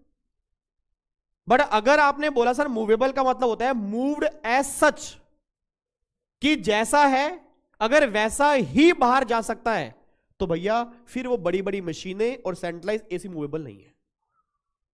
क्योंकि उसको लेके जाने के लिए डिसमेंटलिंग करनी पड़ेगी। और जहाँ पर डिसमेंटलिंग की बात होगी, उस केस में फिर कहीं ना कहीं उसके बाद ही वो मूव हो सकता है, उससे पहले तो हो नहीं सकता। इतना बड़ा सेंट्रलाइज एसी में हनुमान जी तो हूँ नहीं, सारा लेके ऊपर उठ जाऊँगा। ऑब्वियसली बात है ना भाई, इतना बड़ा सेंट्रलाइज एसी है, पहले मैं डिसमेंटल करूँगा, फिर उसके पार्ट्स होंगे, फिर बाहर जाएँगे। इतनी बड़ी मशीन है, जो अर्थ से कनेक्ट हो चुकी है, सारे नटबोल्ट ओपन होंगे, फिर वो बाहर जाएगा। तो इट मीन मैं कहना क्या चाह रहा हूँ मूवेबल का मतलब क्या है? अब लो ये बात कहना चाहता है कि मूवेबल का मतलब होता है mood as such it mean अगर कोई प्रॉपर्टी तुम्हारी एज सच ही मूव होगी ना, तब मूवेबल के अंदर कवर होगी, बाकी कोई भी प्रॉपर्टी मूवेबल में कवर नहीं हो सकती। अब बच्चा कहता है, सर, फिर जो बड़ी बड़ी मशीनरी है, जो अर्थ से कनेक्ट है, वो गुड्स में कवर नहीं होंगी। जो सेंट्रलाइज एसी हैं, जो डिसमेंडलिंग के बाद बाहर जाएँगे गुड्स में कवर नहीं होंगे। अब अगर वो गुड्स में कवर नहीं होंगे तो सर क्या जीएसटी नहीं है? मैंने ये नहीं कहा कि जीएसटी नहीं है। मैंने ये कहा है गुड्स में कवर नहीं होंगे। क्या पता वो सर्विस में कवर हो जाए? अब बच्चा कहता है, सर सर्विस में तो हमें नहीं लग रहा, वो सर्विस में कवर करेंगे। आओ एक बार चेक करते हैं सर्विस के बारे में इन्होंने क्या दिया है? एक बार सर्विस की डेफिनेशन सेक्शन 2102 आपके सामने है, ये लो जी। एक बार चेक करना सर ये लो जी, ये 2102 है। एक बार बोलना क्या लिखा पहले तो देखो सर्विस क्या है? इंक्लूड्स है मींस है। हनी मींस का मतलब क्या है? एग्जॉस्टिव या इंक्लूसिव एग्जॉस्टिव का मतलब सर्विस में ये भी कवर होंगे या ये ही कवर होंगे? यही कवर होंगे। अब बहुत ध्यान से पढ़ना, मैं बार बार कह रहा हूँ चेक पॉइंट नंबर वन चल रहा है। अगर ये क्लियर नहीं हुआ, पूरा जीएसटी क्लियर नहीं होगा। वो ये बात कहना चाह रहा है, बहुत ध्यान से पढ़ना क्या लिखा है? सर्विस मींस पाँच बार बोलोगे सर्विस मींस सर्विस मींस नहीं, सिर्फ़ एक वर्ड बोलना, सिर्फ़ एक वर्ड पे ज़ोर देना। Service means service means service means service means service means anything मतलब? कुछ भी कुछ भी का मतलब? कुछ भी। सर्विस मींस सर्विस मींस कुछ भी का मतलब? कुछ भी। एक बात, अगर सिर्फ़ इतनी डेफिनेशन होती, अगर सिर्फ़ ये लिखा होता, ये क्या है? ये सर्विस है। ये क्या है? ये क्या है? ये क्या है? ये क्या है? सर्विस मींस एनीथिंग सर इतनी वाइड डेफिनेशन दे दी है, कहने को एग्जोस्टिव है बट इंक्लूसिव है। मुझे तो ऐसा लग रहा है। क्योंकि अगर कोई बच्चा खड़ा होकर मुझसे बोले सर्विस क्या है? सॉरी मैं नहीं बता सकता। क्योंकि सर्विस मींस एनीथिंग ना। इट मीन कुछ भी होगा, वो कुछ भी क्या बन जाएगा? सर्विस बन जाएगा। बट उसने बोला service means anything other than इसको छोड़कर। इट मीन अगर वो इसमें कवर होगा तो वो सर्विस नहीं होगा। इसको छोड़कर कुछ भी होगा ना, वो सब कुछ सर्विस है। एक बार चेक करना क्या लिखा है? Service means anything other than क्या लिखा है? गुड्स आपने बोल देना गुड्स बाहर क्यों निकाला? क्योंकि वो ऑलरेडी गुड्स में कवर है तो वहाँ पर जीएसटी लगेगा, यहाँ पर कवर नहीं होगा। फिर बाहर निकाल रहे हैं service means anything other than goods money and security अगर कोई बच्चा मेरी क्लास में इंटेलिजेंट बैठ चुका हो तो सोच के आंसर दे सकता है मनी और सिक्योरिटी ना तो गुड्स में कवर थे और ना ही सर्विस में कवर है। चेक पॉइंट नंबर वन से बाहर हो चुके हैं, इन पर जीएसटी नहीं लगेगा. आज अगर आपने रिलायंस कंपनी के खुद ब्रोकर से नहीं, खुद शेयर परचेज किए, उस वैल्यू पर जीएसटी नहीं है। सर, अगर ब्रोकर से पे किए तो वो कमीशन चार्ज करेगा, उस पर जीएसटी लगेगा, जो शेयर की वैल्यू होगी उस पर नहीं लगेगा। सर, ऐसा क्यों? मतलब जीएसटी क्यों नहीं लगाया? आपको शायद बता दूँ कि सिक्योरिटी पर मतलब शेयर्स डिवेंचर्स बॉन्ड्स पर एक टैक्स लगता है सिक्योरिटी ट्रांजेक्शन टैक्स जो हमारा इनकम टैक्स के अंदर आएगा। अब गवर्नमेंट ने बोला, जब वहाँ पर ऑलरेडी एक टैक्स है, और अगर जीएसटी लगाएँगे देर इज़ डबल टैक्सेशन ना।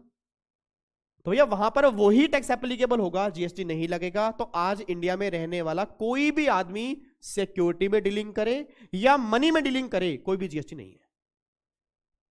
सर मनी का मतलब क्या है? मनी का मतलब बैंक के पास जाते हो आप। बैंक में एक लाख रुपए जमा करवाते हो। अब आपने एक लाख रुपए जमा कराए बैंक वालों ने एक लाख रुपए जमा कर दिए, अब क्या उस जमा करने के उसने कुछ पैसे चार्ज किए? नहीं किए तो जीएसटी किस बात का? सर्विस तो दिया ना उसने आपको बट उसने पैसे चार्ज नहीं किए। आपने पाँच लाख विड्रॉ करने हैं, पाँच लाख आपने फॉर्म भरा, पाँच लाख विड्रॉ हो गए, कोई पैसे एडिशनल चार्ज नहीं किए जीएसटी किस बात का? बट हाँ, अगर आपने ड्राफ्ट बनवाया, आपने बनवाया होगा आईसीआई के लिए ड्राफ्ट बना होगा ड्राफ्ट मेरे ख्याल से ड्राफ्ट लगता है आपका शायद, या अब ड्राफ्ट के अलावा चेक भी लग जाता है।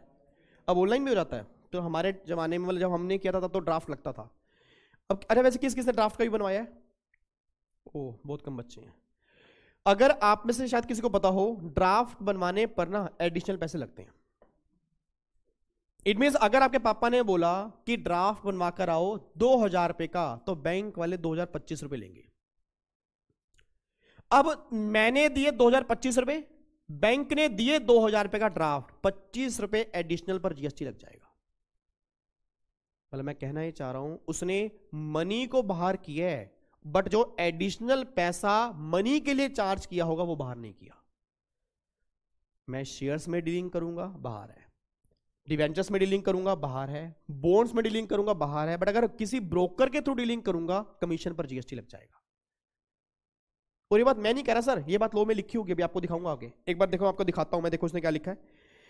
Service means anything other than goods money and security but अब देखो क्या कह रहे हैं। But includes activity relating to use of money वही कह रहे ना कि अगर कोई एक्टिविटी आपने मनी में यूज़ की है that is separate consideration it means वही कमीशन आपने चार्ज किया होगा तो जीएसटी लग जाएगा। नीचे देखो उसने क्या बोला है? उसने बोला it is clarified that expression service include देखो क्या लिखा है फैसिलिटेशन और अरेंजिंग ट्रांजेक्शन इन सिक्योरिटी जो आपको सिक्योरिटी की ट्रांजेक्शन अरेंज करवाते हैं, उस पर भी जीएसटी है दैट इज़ स्टॉक ब्रोकर तो सर प्रॉब्लम पता क्या है? बच्चा क्या सोचता है? स्टॉक ब्रोकर पर जीएसटी नहीं है। गवर्नमेंट ने ये नहीं बोला। गवर्नमेंट ने कहा, भाई सिक्योरिटी पर जीएसटी नहीं है। अब जो देखो सिक्योरिटी अरेंज करवा रहा है, उसके लिए कमीशन ले रहा है। That is liable to pay GST ना। वो तो सर्विस दे रहा है। बट जो तेरी शेयर की वैल्यू है, उस वैल्यू पर जीएसटी नहीं है। तो मुझे इतना सब बोल दो। जो हमने चेक पॉइंट नंबर वन किया, उस चेक पॉइंट नंबर वन से दो आइटम बाहर हो चुके हैं। कौन कौन सी? मनी एंड सिक्योरिटी ना तो वो गुड्स हैं और ना ही वो सर्विस है, उन दोनों पर जीएसटी नहीं है। एक बच्चा बोलता, सर, मेरे पापा शेयर्स की ट्रांजेक्शन करते हैं। तो क्या जीएसटी लगेगा? मैंने कहा, नहीं। कहता, क्यों सर? वो तो सेल करते हैं, सेल तो सप्लाई है और सप्लाई इंडिया में है। मेरे पापा टैक्सेबल पर्सन भी है। मैंने सुना है शेयर एग्जामेशन में भी नहीं है। मैंने कहा, भैया, सब कुछ तेरी बात मान रहा हूँ, बट तेरे पापा शेयर में ट्रांजेक्शन करते हैं, वो गुड्स ही नहीं है। वो सर्विस ही नहीं है।